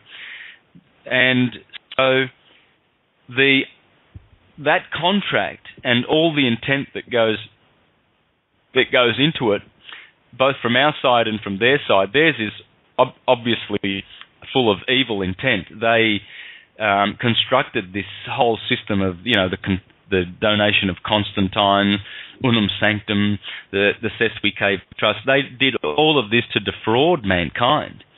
You see, and they they're not shy about being arrogant about it. You know, they stick their phallics, their temples, and their banks in the best prominent places in all the cities. They are the, and guess what? Everybody goes to these temples to work in them from from the suburbs. You know, they all go into, they're all directed into the city. You know, Melbourne's got an amazing um, freeway system, probably you know second only to Los Angeles. But um, you can hop on the Monash Freeway here. It's only one minute away from my house, and you, and it's you know 30 minutes. I used to travel on it every day that I went to the Bourke Street Mall to busk. It was 30 minutes, and I was parked in in Little Bourke Street from my house. 30 minutes on that freeway, and it's about 45 kilometres away. So and and and they've done this. And what happens is if you get caught in traffic, you can be on that Monash freeway for about two hours. You know, from six o'clock. So you get all these mothers scratching their heads, leaving their babies with you know uh, I don't know pedophile aunties and and uh, you know n- uh, places nurseries where they're just uh, abusive or whatever, and they're drinking their coffee and smoking in their cars two hours to get to, to work. And where are they going? they're going to the mountain of of the Ram of Mars, the hill of Mars, where all of the martial maritime activity is going on in the hubs of all the cities, and the biggest buildings are the banks and the churches, and the, the wealthiest. And it's still the same business that's going on. We've got to say goodbye to that and destroy it, destroy its energy through better knowledge forms. And we are creating this knowledge form right here on this channel. The knowledge form that that humanity needs, whether they are aware of, aware of it or not, is this knowledge form that will destroy all the other thought forms. So that when idiots like Barack Obama open their eyes, it will be like a, a gorilla farting in the wind, and people would just laugh at it and they go, look at that, there's a dumbass gorilla, and he's just farting out of his mouth. You know, when George Bush speaks, people will be throwing, you know, uh, rotten eggs. They won't be paying eight hundred dollars to go and eat with this um, uh, base vampire murderer. Uh, and, yeah, and so um, this is what we are doing. We are rejecting all of this. And I'll tell you what, Olive has got a really good chart for that. Um, she's got all the explosive energy she needs. She's got plenty of love in with Venus in the fifth house. She's going to be a great mother. Um, probably won't have many children though, because fire ascendants, um, one or two children at most. Um, you need a water ascendant if you wanted to capitalize on Venus in the um, in the fifth house there. But wow, you know, you will be such a loving, loving mother, and um, with the with Leo in the fifth cusp there, the heart, and Venus in Leo in the fifth house. That's also dealing with pleasure. So you are you are a person, an individual rather, who um, who does get a lot of pleasure from life. And I would say that that would be, you know, sensual too, you know, but on all levels, you'd be getting a lot of pleasure. There you go. There you go. Uh, now there was uh, Lori from last week. Um, I, I uh, got the information for you.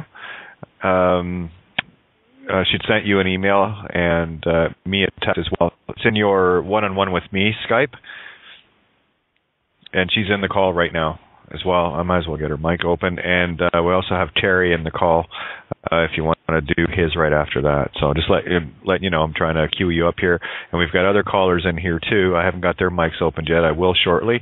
Uh, so just bear with me, guys. Um, now just let me get. Uh, do you see the information? Yeah, yeah, but I've got someone else. Oh, okay, okay. And right, I'm yep. trying to find who it was. Dang, ah, oh, no pulled up someone's chart. It's um, someone that must have been born in in is a Scorpio around about the 19th to the 21st of Scorpio. This is right on the cusp of Scorpio and Sagittarius, and they were born around six o'clock. Let me just check that. where I've got that. Okay, then I, I just uh, keeping you up to date with what I've received. So I think that would be me. Yeah, Susie. Yes, yes. Oh, okay. There you go. Susie's that's already you. in the call. Okay. Perfect. Yeah, let's do Susie. Okay, Okay. this is the one. Yeah. I- It's eleven twenty sixty, four fifty nine Yep, yep. p.m. Garden City, Michigan. Yes. Yep. Done, done, done.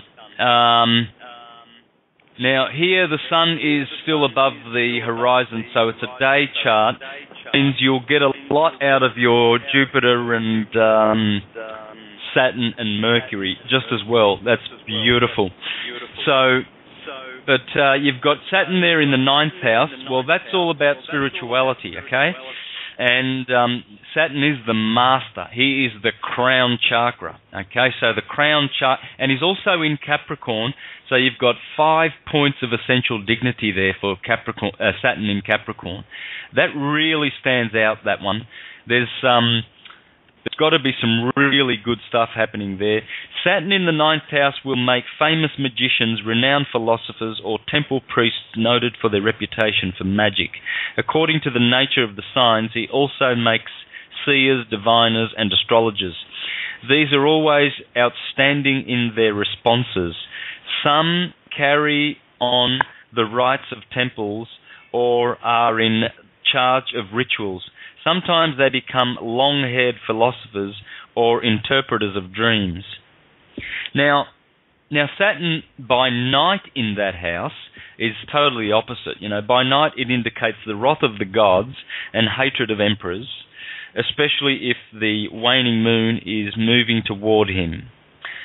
Yeah, so it's totally different. You see, so it's great that you've got Saturn there in Capricorn. Um, wow, you should be to tell us some interesting things about your spiritual side. Um, it would be very, very deep and magical. You've got the the gifts there if you want to um, activate them, unless you're aware of that. Great seers and diviners. So you've got um, everything you need for that skill there. And seeing all the activity in the eighth house, you are certainly that's the house of death and transformation and inheritances, things like that. It also is a house that is concer- concerned with law and justice and lawsuits. So, you know, that's probably anyone who has activity in the eighth house. I, I see a lot of people who are sovereigns and, um, you know, and uh, law-minded people that have got stuff going on in there. You've got the benefics, Venus and Jupiter. Now that needs to be um, pointed out that you have a conjunction of Venus and Jupiter. That is so beautiful a thing to have. Um, let me read what Firmicus says. It's just a, a magnificent conjunction. And um, you also have a very interesting conjunction of uh, Neptune and Mercury. So your speech, this is your speech, Mercury, your mouth, what comes from your tongue and your communication. You, ver- you, you have a very inspirational and sharp intellect. How I know is because Mercury is far advanced of the Sun and rising first, but conjunct Neptune. So Neptune is the Holy Spirit, inspiration, the holy dove. So there's your um, communication and intellect inspirational. Um, and being placed in the deep sign of watery Scorpio, this gives it added power. That's the powerhouse. Scorpio is the powerhouse sign of astrology. All all creation happens there. Remember, Scorpio is um, pointing to the tail of Scorpio is pointing to the center of the Milky Way galaxy. Opposite is Taurus, where Orion is. And Orion is, especially the Orion Nebula and the belt of Orion and all of that area, that is where the Word of God is. That is another creative center. It's a spiritual creative center. You know, um, and this axis of Taurus and Scorpio is the powerhouse axis in the um, ecliptic. That is where the galactic plane is. They they are both straddling the galactic plane, and so there's more. There, there's so much strength in these uh, signs. It's uh, it's very very very powerful, and so the Mercury and Neptune is I think it's really, really, um, you, you, it's an unusual gift that you must have in communication. I, would love for you to share what it's given to you, because you would know better than um, anyone else what this conjunction of Mercury and Neptune has done for you and how you know it helps you in your life. But um, you'll get a lot of goodness from the Jupiter and Venus conjunction because those are the two benefics and they are very, very powerful in your chart because they are in the eighth house, which is the house of transformation. So you're a transformation powerhouse. Jupiter and Venus together in the same degree or in the same sign indicate the highest position and great personal charm. Yeah, you sound like a charming person. Um, the natives are always associated in true friendship with great and good men. They are always known for good character and devout in religion, religious rites. They will have great physical attractiveness and be joined in close friendship to kings and judges. They will always have good reputation and will attain high position and possessions through the protection of powerful women. A happy and prosperous marriage is also predicted for those who have Jupiter and Venus in conjunction. They will have children unless a malefic planet prevents. But they are always driven by depraved desires to a series of love affairs. These same predictions are made by Jupiter and Venus in a woman's chart. But if Jupiter and Venus are in conjunction in fixed signs, no, this is a cardinal sign Capricorn, um, favorably aspected to the Moon, and Mars from any direction is in a fa- unfavorable aspect. The relatives are subjects objects of scandal. Well, this doesn't apply to you, but um, there you go. That's the sort of things that can can occur with that conjunction. Uh, Mars retrograding in Cancer in the third house, that has got to be trouble for you and your brothers and sisters. I don't see that you could be getting along um, just superficially here with any of your brothers and sisters. There must be an aggressive energy there. Either your brothers are aggressive toward you, or you are aggressive toward your brothers. But I can do further checks to see whether it's your older, your middle, or your younger brothers. And that's about it, really. Mm, there's a little bit of probably uh, a tinge of sadness with the sun there just about to set. You were born as the sun was setting. That does bring, you know, a, an introverted sort of a sad streak into the natives. Thank you. Yeah. No worries. That was, now, yeah, that's wonderful. Yeah, what can you tell us about the Mercury Neptune conjunction, Susie? Well, um, Mercury is the vocal cords, correct? The voice mm, yep. communication. Um, yeah. Uh, well, I believe what it would reference, as I've I'm noticing as I've gotten older, I have the ability to uh, know something through osmosis, and uh, when someone tells me something, it's as if I absorb it and then I can reword it or reframe it in a kind of like a logical sense. And all I'm doing is uh, saying what they said to me, but I'm saying it back with my words in an example. And but it seems to shed light uh, more uh, more deeply and the other thing that I have is when I hear someone speaking, I hear what they mean, not the words that they say. The the intonation, there's something in there that I can I recognize. Do you, yeah, do you well, understand what I'm saying? Oh yeah, oh yeah, for sure. Well, well, um, you've got to remember that your thinking and intellect and communication is very Neptunian. Neptune is uh, Osiris, the um, the god of um, water. That's Shiva. Can be very destructive. Can be an absolute malefic. But because um, this conjunction is purely benefic because of all the um, the sextiles that are pointed toward toward it. Notice that there's no um, uh, squares or oppositions. You only have one opposition in your chart and one square. All the rest is a bunch of um, trines and sextiles, and they're all pointing to this Neptune um, Mercury conjunction, which uh, makes it purely, purely benefic. So communication is always, um, you know, it's it's always accompanied with Neptunian depth about it. You know, um, it's always dressed, if you like, with Neptune's profound inspirational um, energy. Um, and if it's, if it's in the sixth house, that has to do with um, first and foremost with people that you work with. So people that are un- under you in terms of um, they need to look up to you for instruction or direction in the place of work. Okay.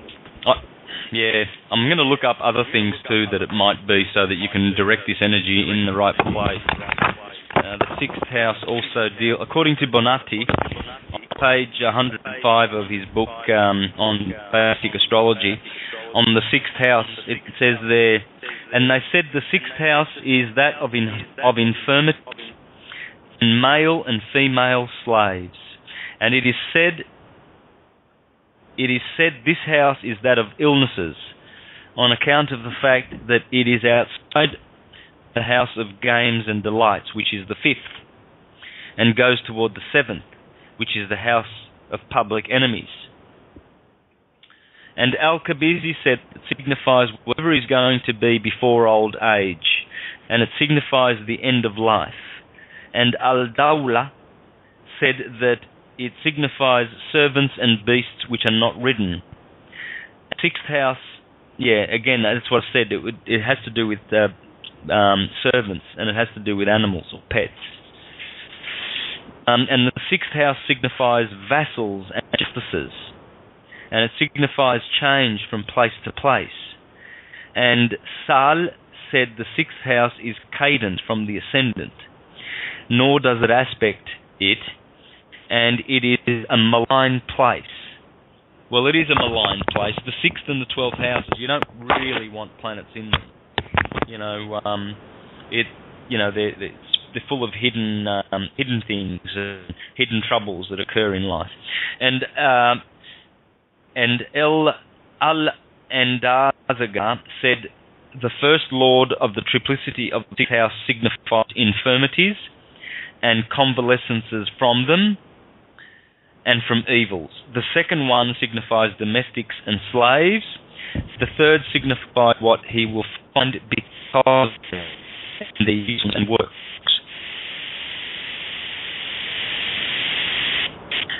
Anyway, yeah, that's, You know, you- that's a. Yeah, you're breaking up a little bit, Santo, and yeah, I had to mute you just because you get uh, on some sometimes on phones there's a, an echo feedback loop. So, uh, yeah, try that again, Santo. You you were breaking up a little bit. Like to that to signify mostly signifies infirmities. Uh, how help? Yeah, it's it's really really breaking up. Um, got the infirmities thing. Try again. Okay. That's better. Well, no, I can I can move on. I've um I've exhausted that avenue. Uh, now I just want to do one more part that I've got on my Skype. Okay, well, I just opened Susie. If you want to say anything to Santo before he moves on. Oh, thank you so much. I'm going to listen to the repeat and study some more. That's wonderful. Yeah, you- I always uh, thought about that one conjunct because it was so unusual. The two. The, was it the Jupiter and the, you got- not the Mercury and Neptune, the Jupiter and the Venus conjunction? Anyway, oh yeah, that one's thank goodie. you so much. Yeah. Mhm. Yeah, you've got you've got a great conjunction of uh, Venus and Jupiter. Yeah, those two conjunctions, Neptune, Mercury, and Venus and Jupiter, they are very, very special in your chart, sister. Very, very special. You are also a Bohemian at heart. You are um, a very eccentric uh, way of expressing your heart with Uranus in Leo. Now, uh, I've got one more to do here. Yeah. Let me see. Where are we? Oh, here we go. Um, oh no, I just did. I just did Susie. Yeah, that was you from. You're on my Skype. You're called um, Coitus erratic. Yeah, I think Is that you, Sue? Yeah, co- uh, coyote. Coyote spirit. spirit. Oh yeah, coyote spirit. Yeah, oh, yeah. Oh, is, is that Sue? Is it? Is that Yeah. Sue on there? Yeah. Okay, I just did Sue. So all right. Well, then I've got. Um, I can do the one you want me to do there. The second one, Philip. Yep. Is that Philip? Yeah, and we had Laurie as well. But if you got time for one, Philip, I know has been asking for months.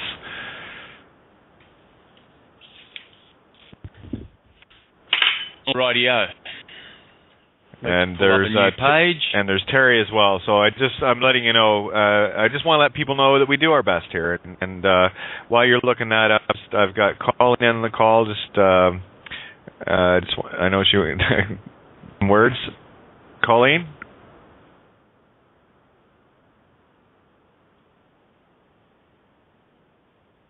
Colleen, are you there? Hi, Kate. There you are. Can you hear me? Hi. I'm I'm I'm listening. Beautiful call tonight. I just Yeah, wanted got- to say I, Go ahead.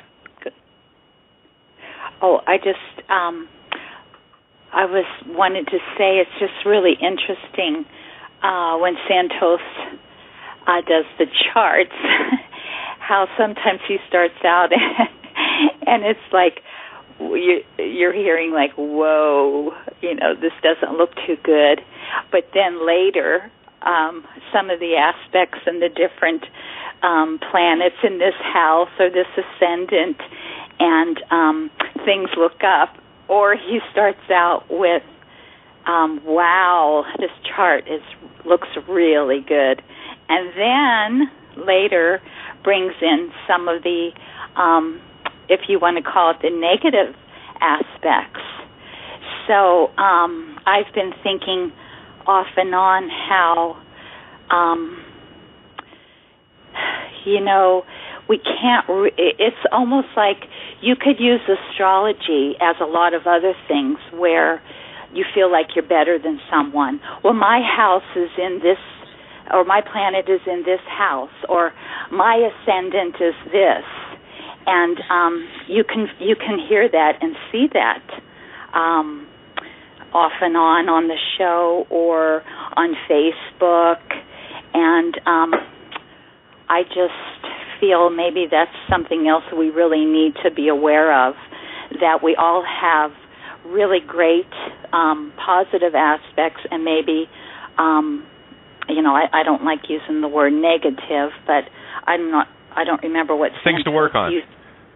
Yes, yes. things to work on. Um, I like to remind everyone that I- I'm a Gemini. It doesn't matter.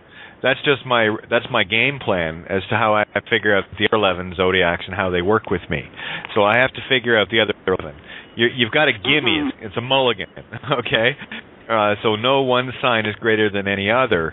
Uh, these are all different roadmaps, right? So uh, yeah, sure. I've got Leo ascendant and uh, Aries midheaven. I also got some other shit in there that needs sorting out. You know. Uh, Exactly. Oh, yeah, but that's what I'm focused we all on. Do. Yeah. And that's what I like to focus on. I, I like to know what are the tools that I have to work on the shit that I need to take care of. That's yeah. how I look at it. Yeah. It's not about oh look at me I'm this and that. No no no. Yeah. So I made myself I totally get clear what on, you're saying. on my thoughts there. Okay, good. And oh yeah, absolutely. San- No, I I get it. Yeah. And another thing Santos I uh just said something about in in the chart, not the last one, but the one before. Um about uh, pets. Something in the chart it showed how someone would be with pets. Is, did, do you remember that? Santos, do you remember yes, what you said yes, about um, that? Okay. Yep, absolutely. Yep. The I've not heard you house, say that the before. sixth house Maybe has you to do have. with pets, and Okay. The sixth probably not. Probably not. yeah. No, I haven't heard that. Twelfth So my house. thought about the Go ahead, Santos.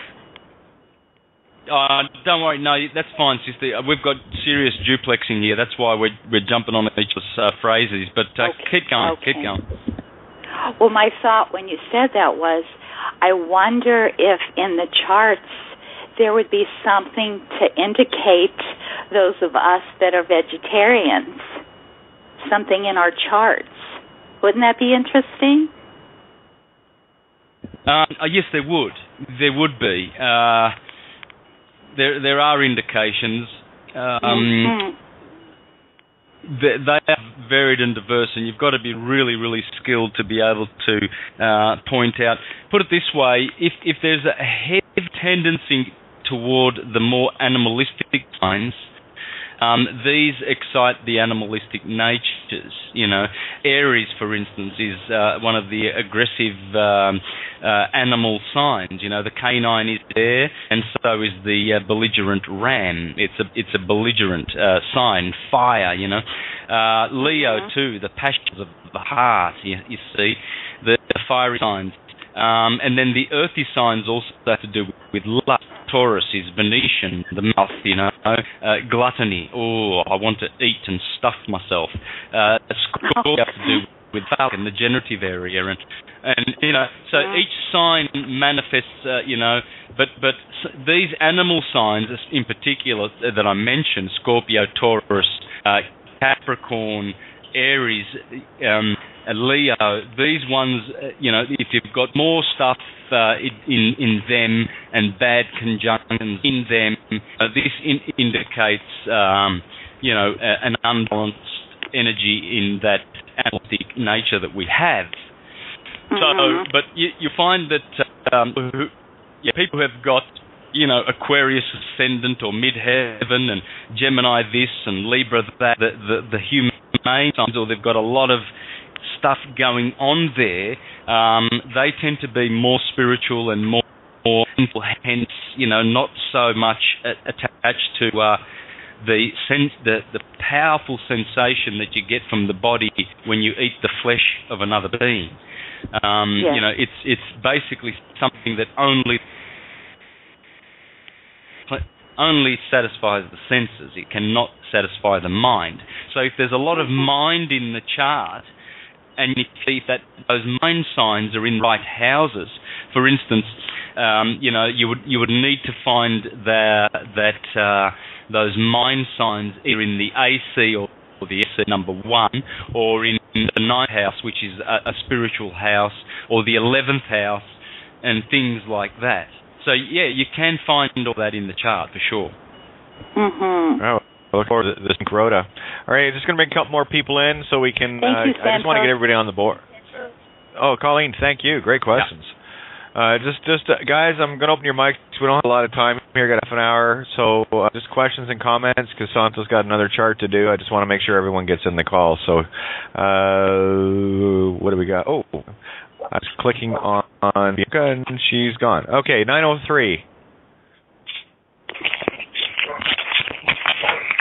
Nine zero three.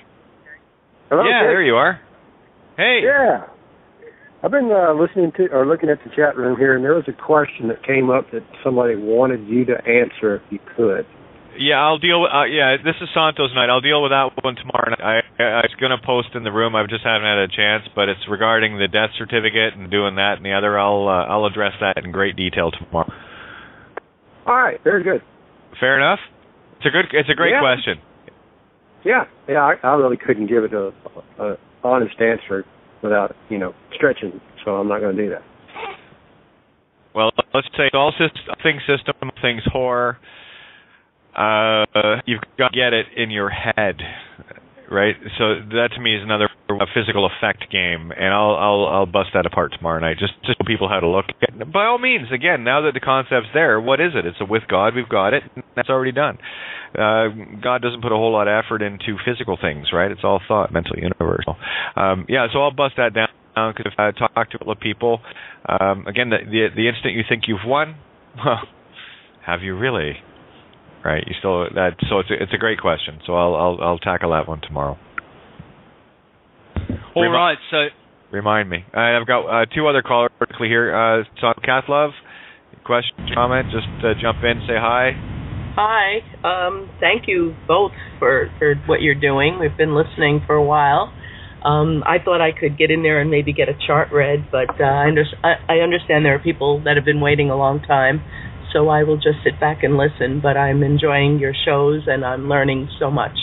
And thank you. Excellent. Excellent. Yeah, and you know what? It's always a luck of the draw, and as things uh, pan out, everything is perfect. So just pay attention for the things. Um, horoscopeswithin.com, is it, Santo?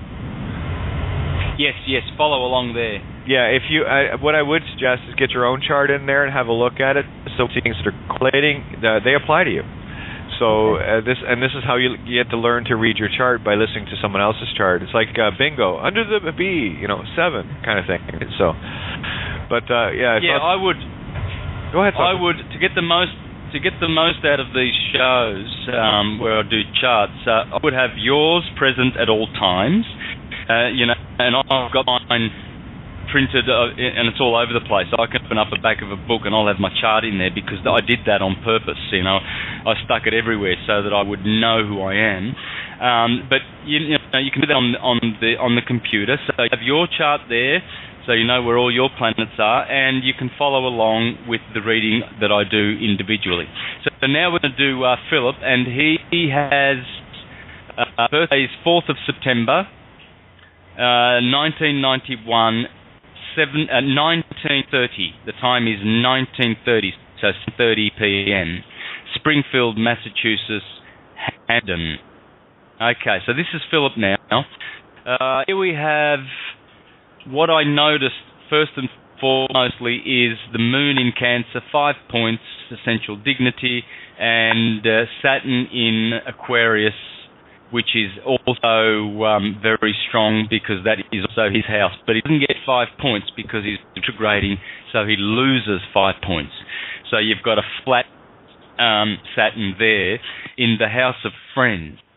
So I'd be looking at that. That's an interesting thing going on there. You've got some um, probably some having the north node in the 11th house indicates great blessings in terms of friends, but I probably imagine you are not very kind to them sometimes or a bit stern with them, a bit harsh, nasty, cold maybe, don't communicate very much with them um, because Saturn retrograding up there is uh, by night. You have a night chart. The sun is just below the uh, um, the horizon, so we, we're dealing with an north here.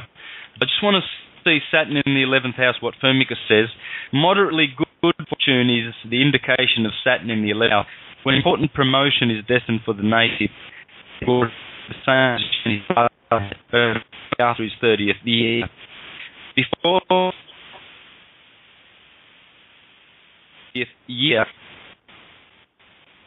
until 30th year. Well, uh, that's not much. It's not telling much about how you're going to be treating friends. Uh, I consult another book, which I will.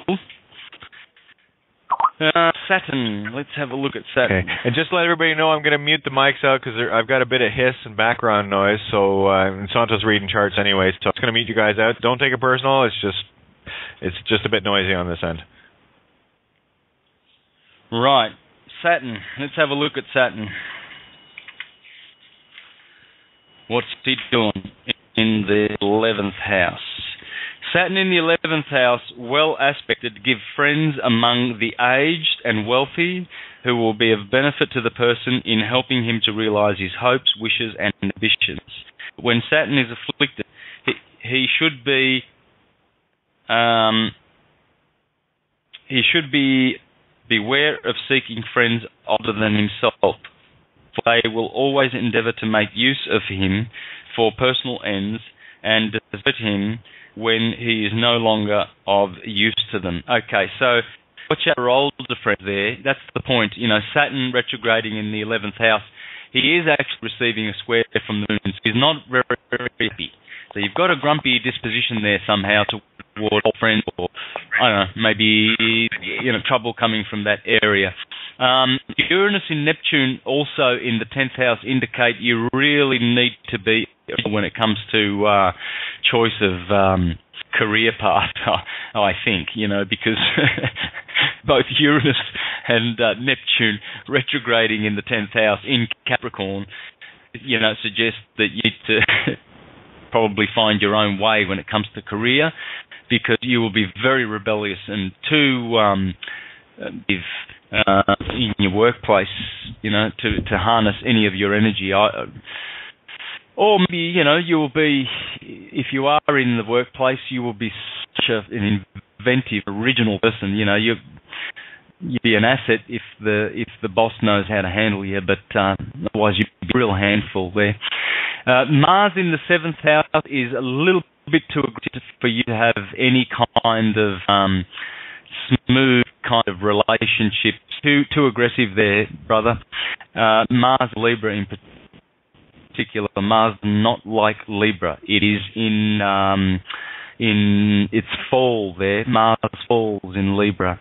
Uh, whereas no no rather rather it's it's um, Sun falls in Libra. Mars is in detriment in Libra. So Mars is in detriment in Libra. So this brings detriment to your the house of relationships and marriages, okay, and also accidents and uh, hindrances, uh, all that sort of stuff. Let me read. But the good thing about it is it's a night chart, so it's not so harmful to you. Mars loves a night chart, uh, but the harmful part is that Mars is in Libra, is not liked and watch out for the um, Cardinal Grand Cross that's turning up on the 1st of January in a few days. Mars will be in Libra, squaring and opposing with all the other cardinal signs. And eight planets are going to be involved in this conjunction. It's going to be a very, very powerful day. But uh, remember that Mars will be in Libra, and so you will see what it means to have Mars in Libra. Um, it's it's about balance and justice and and all of those things. So Mars in the seventh house. Uh, now, Mars in the seventh house, that is on the descendant by night or day, makes for a violent death according to the nature of times. He indicates this evil more strongly in alien signs, for then he predicts pains, lacerations of the body from a fall, or death or he has the native thrown into prison, or condemns him to deadly misfortune. In nocturnal charts, Mars indicates painful, painful fevers from all kinds of activities. Often he indicates wounds and becomes that become infected, so that they have to be cauterized by a hot iron. He also he produces hidden pains in the body, especially if he himself is the ruler of time or if he shares the rulership of time with the full moon. Well, the, I can tell you now that if you, the ruler of time, Mars will be the second ruler of time in your chart. So if you are going to have pain, it will be in the earlier part of your days. It'll be from the age of 10 to 21 which you are now out of. So um, that pain is gone. But um, yeah, there's lots of other troubles. Look, I've done a chart of enough people to know that um, Mars in the in the seventh house brings, you know, lacerations to the body, injuries.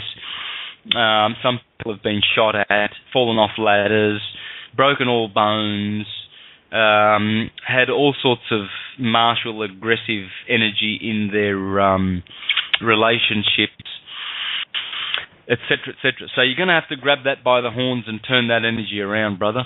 Um, Mars and all of these planets in the sixth house also uh, have to do with um, illness and um, weakness too. So watch out there for that conjunction. You do have a beautiful conjunction of Jupiter, Neptune, um, Mercury, and Venus. This is really, really gorgeous. It's it's certainly the most beautiful thing in your nature, and it's all centered in the heart. It's the heart. It's a very communicative heart that you have, and it wants to communicate rather, and it's um, it's it's loving and generous. So, and having the moon in the fifth house in Cancer, that is so exquisite. That is good for pleasure and it's the house of children too. You will be you'll be a very very loving and very maternal kind of a father. Born warrior. Yeah. Yeah, very maternal in- instincts toward children, really. This person, this individual. But uh, yeah, kind of sad though, really, to have four planets in the sixth house. You chose this for some reason, um, you know, it will have to do with illnesses. It will probably cause some weakness to come to the body from time to time in your life. Uh, Pisces is in the ascendant. Pisces is a beautiful ascendant. Here is what uh, Firmicus says about the Pisces ascendant. The ascendant in Pisces makes the, the native talented, intelligent, faithful, friendly. He will be in charge of affairs, but in such a way that he will always be someone's subordinate. Enemies will be easily overcome. Fame will come from some long continued business in the course of time, and he will attain high position and great good fortune, and he will be famous for his many journeys. So, but the point is, Pisces being the ruler, now that's the water element. So the rulers of your uh, health will be um, Venus, then Mars, then the Moon. And in terms of the Moon is the healthiest ruler, and she is the last ruler of the water element. So, you know, health will improve toward the latter part of the days, but your Venus and your Mars are definitely struggling. The first part of your life was definitely the um, the worst. So I don't I don't know what Philip has had in terms of um, and injuries, but uh, the worst part is definitely over. If he's around, he can make a comment. Um, I'm not seeing him on the board. If he's got a number, I have no idea what it is. So um, yeah, I can't uh, I can't help you there. I'm just going over to uh, Facebook. Um, oh, okay. Which uh, Philip, you're on the board. Uh, what's your number? Just give me the area code, or hit hit one on your uh, on your phone if you're on the phone. I'll know it. Well, if you if you've already hit it, I, I'll know. Which um, if you could just type into Facebook, which number? Two seven. Thank you. See how see how shit works. Just like that. Let me just bring you in here. Okay, Susie's got 727. Where's the other one? Looking, looking, looking. Okay, I'm not seeing you on the board. Oh, there you are. Uh huh. Okay. Oops. Just a sec. Oh, you hit one just as I touch. as I touch. oh, hang on. Okay, don't do anything. I got to find your number again. There it is. Oh yeah, your uh, your mic's hot. Hello. Hey, Philip. There you are. Hello. Yeah, you're on. Okay. Uh, yeah, that was uh, that was awesome. That chart reading, so so spot on. It's it's oh, it's just good to hear it. Really is. Um, yeah. yeah. Take yeah. take a look at your Pluto in Scorpio. Five points because um, Pluto loves being in Scorpio. That's his home.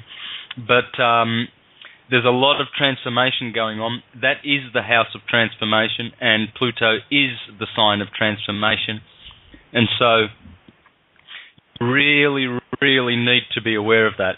Don't don't settle down and, and say, you know, um, I'm good now, but constantly transformed, constantly. I'm aware of this in my life. Every day, I make sure that I feed the consciousness, you know, by studying, by meditating, by focusing, by transforming, etc., etc. So you've got uh, you've got a really, really powerful chart here in terms of transformation. Mm. Yeah, I was about to say the part about um the injuries. Oh, the first part of my life, I've broken so many bones and just lots and lots of pain, physical pain, and uh that was spot on. But the part about the I'll become famous for my many journeys. That's cool because I'm really um kind of struggling with the c- career path thing right now. So uh hopefully that'll turn turn its uh, way soon. Oh, there will there will be stuff happening in your career. There's no. yeah, well, about you're hanging out with us. What do you expect? yeah, yeah. Do For the real, math, I mean- Philip. Do the math. You know, it's like, you- you know, this is kind of like the cutting edge table on the planet. So I think you're in good company. It's all good. It's coming. Yeah, yeah, I know I'm going somewhere. It's just really stagnant right now, but I'm I'm definitely researching, studying, meditating, doing all that good stuff. So I'll I'll be fine. I'm sure. Hanging out with the the two greatest minds on the radio right now, Kate and Santos. Well, thank you for that. I would say probably the well, in my case, uh, smart asses attitude on the radio, but other than that, yes, uh, yeah, we just call the shit out as we see it. You know, I, Santo, I got to say, and I think you can agree, we don't do anything special at all. Nope. Not a damn thing. We just kind of go, oh, cool, that's how it works. Let's play it that way. You know, it's like accepting natural law. What is that all about? that's all. That's a, you know, that's and I keep saying that. Nothing makes anyone more special than anyone. Uh, we're just playing the game the way we're playing the game, and uh, we got us a big party in Australia coming up. And you think I'm missing that? Not a chance. Not on my timeline. See you at the beach. Yep. Great chart. That's for sure. Great chart. Yep. Yeah, take advantage. Take advantage of your uh, Jupiter conjunct Mercury conjunct Venus, because um, this is really, really going to be um, a great, great thing coming from you. Um, depth, depth of wisdom, and and all the sciences and syncretic sciences are you know coming your way. You you'll be master of them all with a conjunction like that. Anytime Mercury is near Jupiter, anytime he's anywhere near Jupiter, um, here's what bon- Bonatti says uh, about that conjunction. It's a little beauty. Uh, you really, you really want that that Jupiter uh, Mercury one. Yeah, right right now I'm reading the book you suggested, uh The Light of Egypt by Thomas H. Burgoyne. It's really good. I mean, pretty awesome. Yep, that's one of the best syncretic books on the planet. That's where you will understand syncretism deeply. Best book for syncretism is that The Light of Egypt by Thomas H. Burgoyne. If, however, Mercury is joined to him, Jupiter, it signifies the knowledge of arithmetic and of all things which pertain to number and the knowledge of writing beyond other writers, if he wished to study in it, and philosophy, namely astronomy, and all other quadrivial sciences. Now that's yours truly too. I have um, Mercury conjunct Jupiter and the Sun, but you have Mercury conjunct Jupiter and Venus. So it's a way more loving, softer, and benefic one that you have. Nonetheless, uh, the Sun conjunct these two planets in my chart only really amplify, um, you know, what what the conjunction is and make it stronger and sturdier. So, in in Firmicus Maternus says that um, Mercury conjunct Jupiter. Um, well, you just we just read what Bonatti said, but uh, Firmicus says uh, something also very compliment- complementary. Of course, it can't be but complementary because Jupiter, anywhere near an- another planet, only enhances it and beautifies it. So both you and I have a be- more beautified mercurial um, archetype in our temples, you know, because Jupiter is standing next to our Mercury, our intellect, hence the generosity, you know, um, and I and I am generous when it comes to communication. Um, so you know, I'll get on the radio and talk as long until I drop. So, so let's have a look at Jupiter with Mercury. Uh, here we go. Jupiter and Mercury in conjunction make the natives powerful, outstanding in counsel and oratory, trained in all fields of learning, yeah, syncretism, and the objects of general admiration. They are particularly outstanding as orators for the fluency of their speech. Some, because of their intelligence and learning, will be in charge of royal letters and archives. So, um, so there you go. That's what you got. That's your gift. well, send me over to the Vatican and I'll take a look at those archives. How about that one? See, that's why I like hanging out with that kind of energy. Just let's get her done. You know, it's it's uh, how did I put it? You're a creative, happy prick. I love it. you know, it's perfect. You know, I, and I I gotta gotta say I've I've bumped into a, a few people in my life with that kind of energy, and it's there's never a dull moment. You know, so uh, well done, good uh, good game, good game. Now uh, something else too. When you hear something what you deem to be negative in your chart, there's where you get the opportunity to go uh-uh and you can now instead of being at effect to it now you can be cause over it so you're this is why it's so critical to know this because you save yourself a shit ton of bother you know if you if you knew this why do you think they hide this stuff? They don't want you knowing your game right?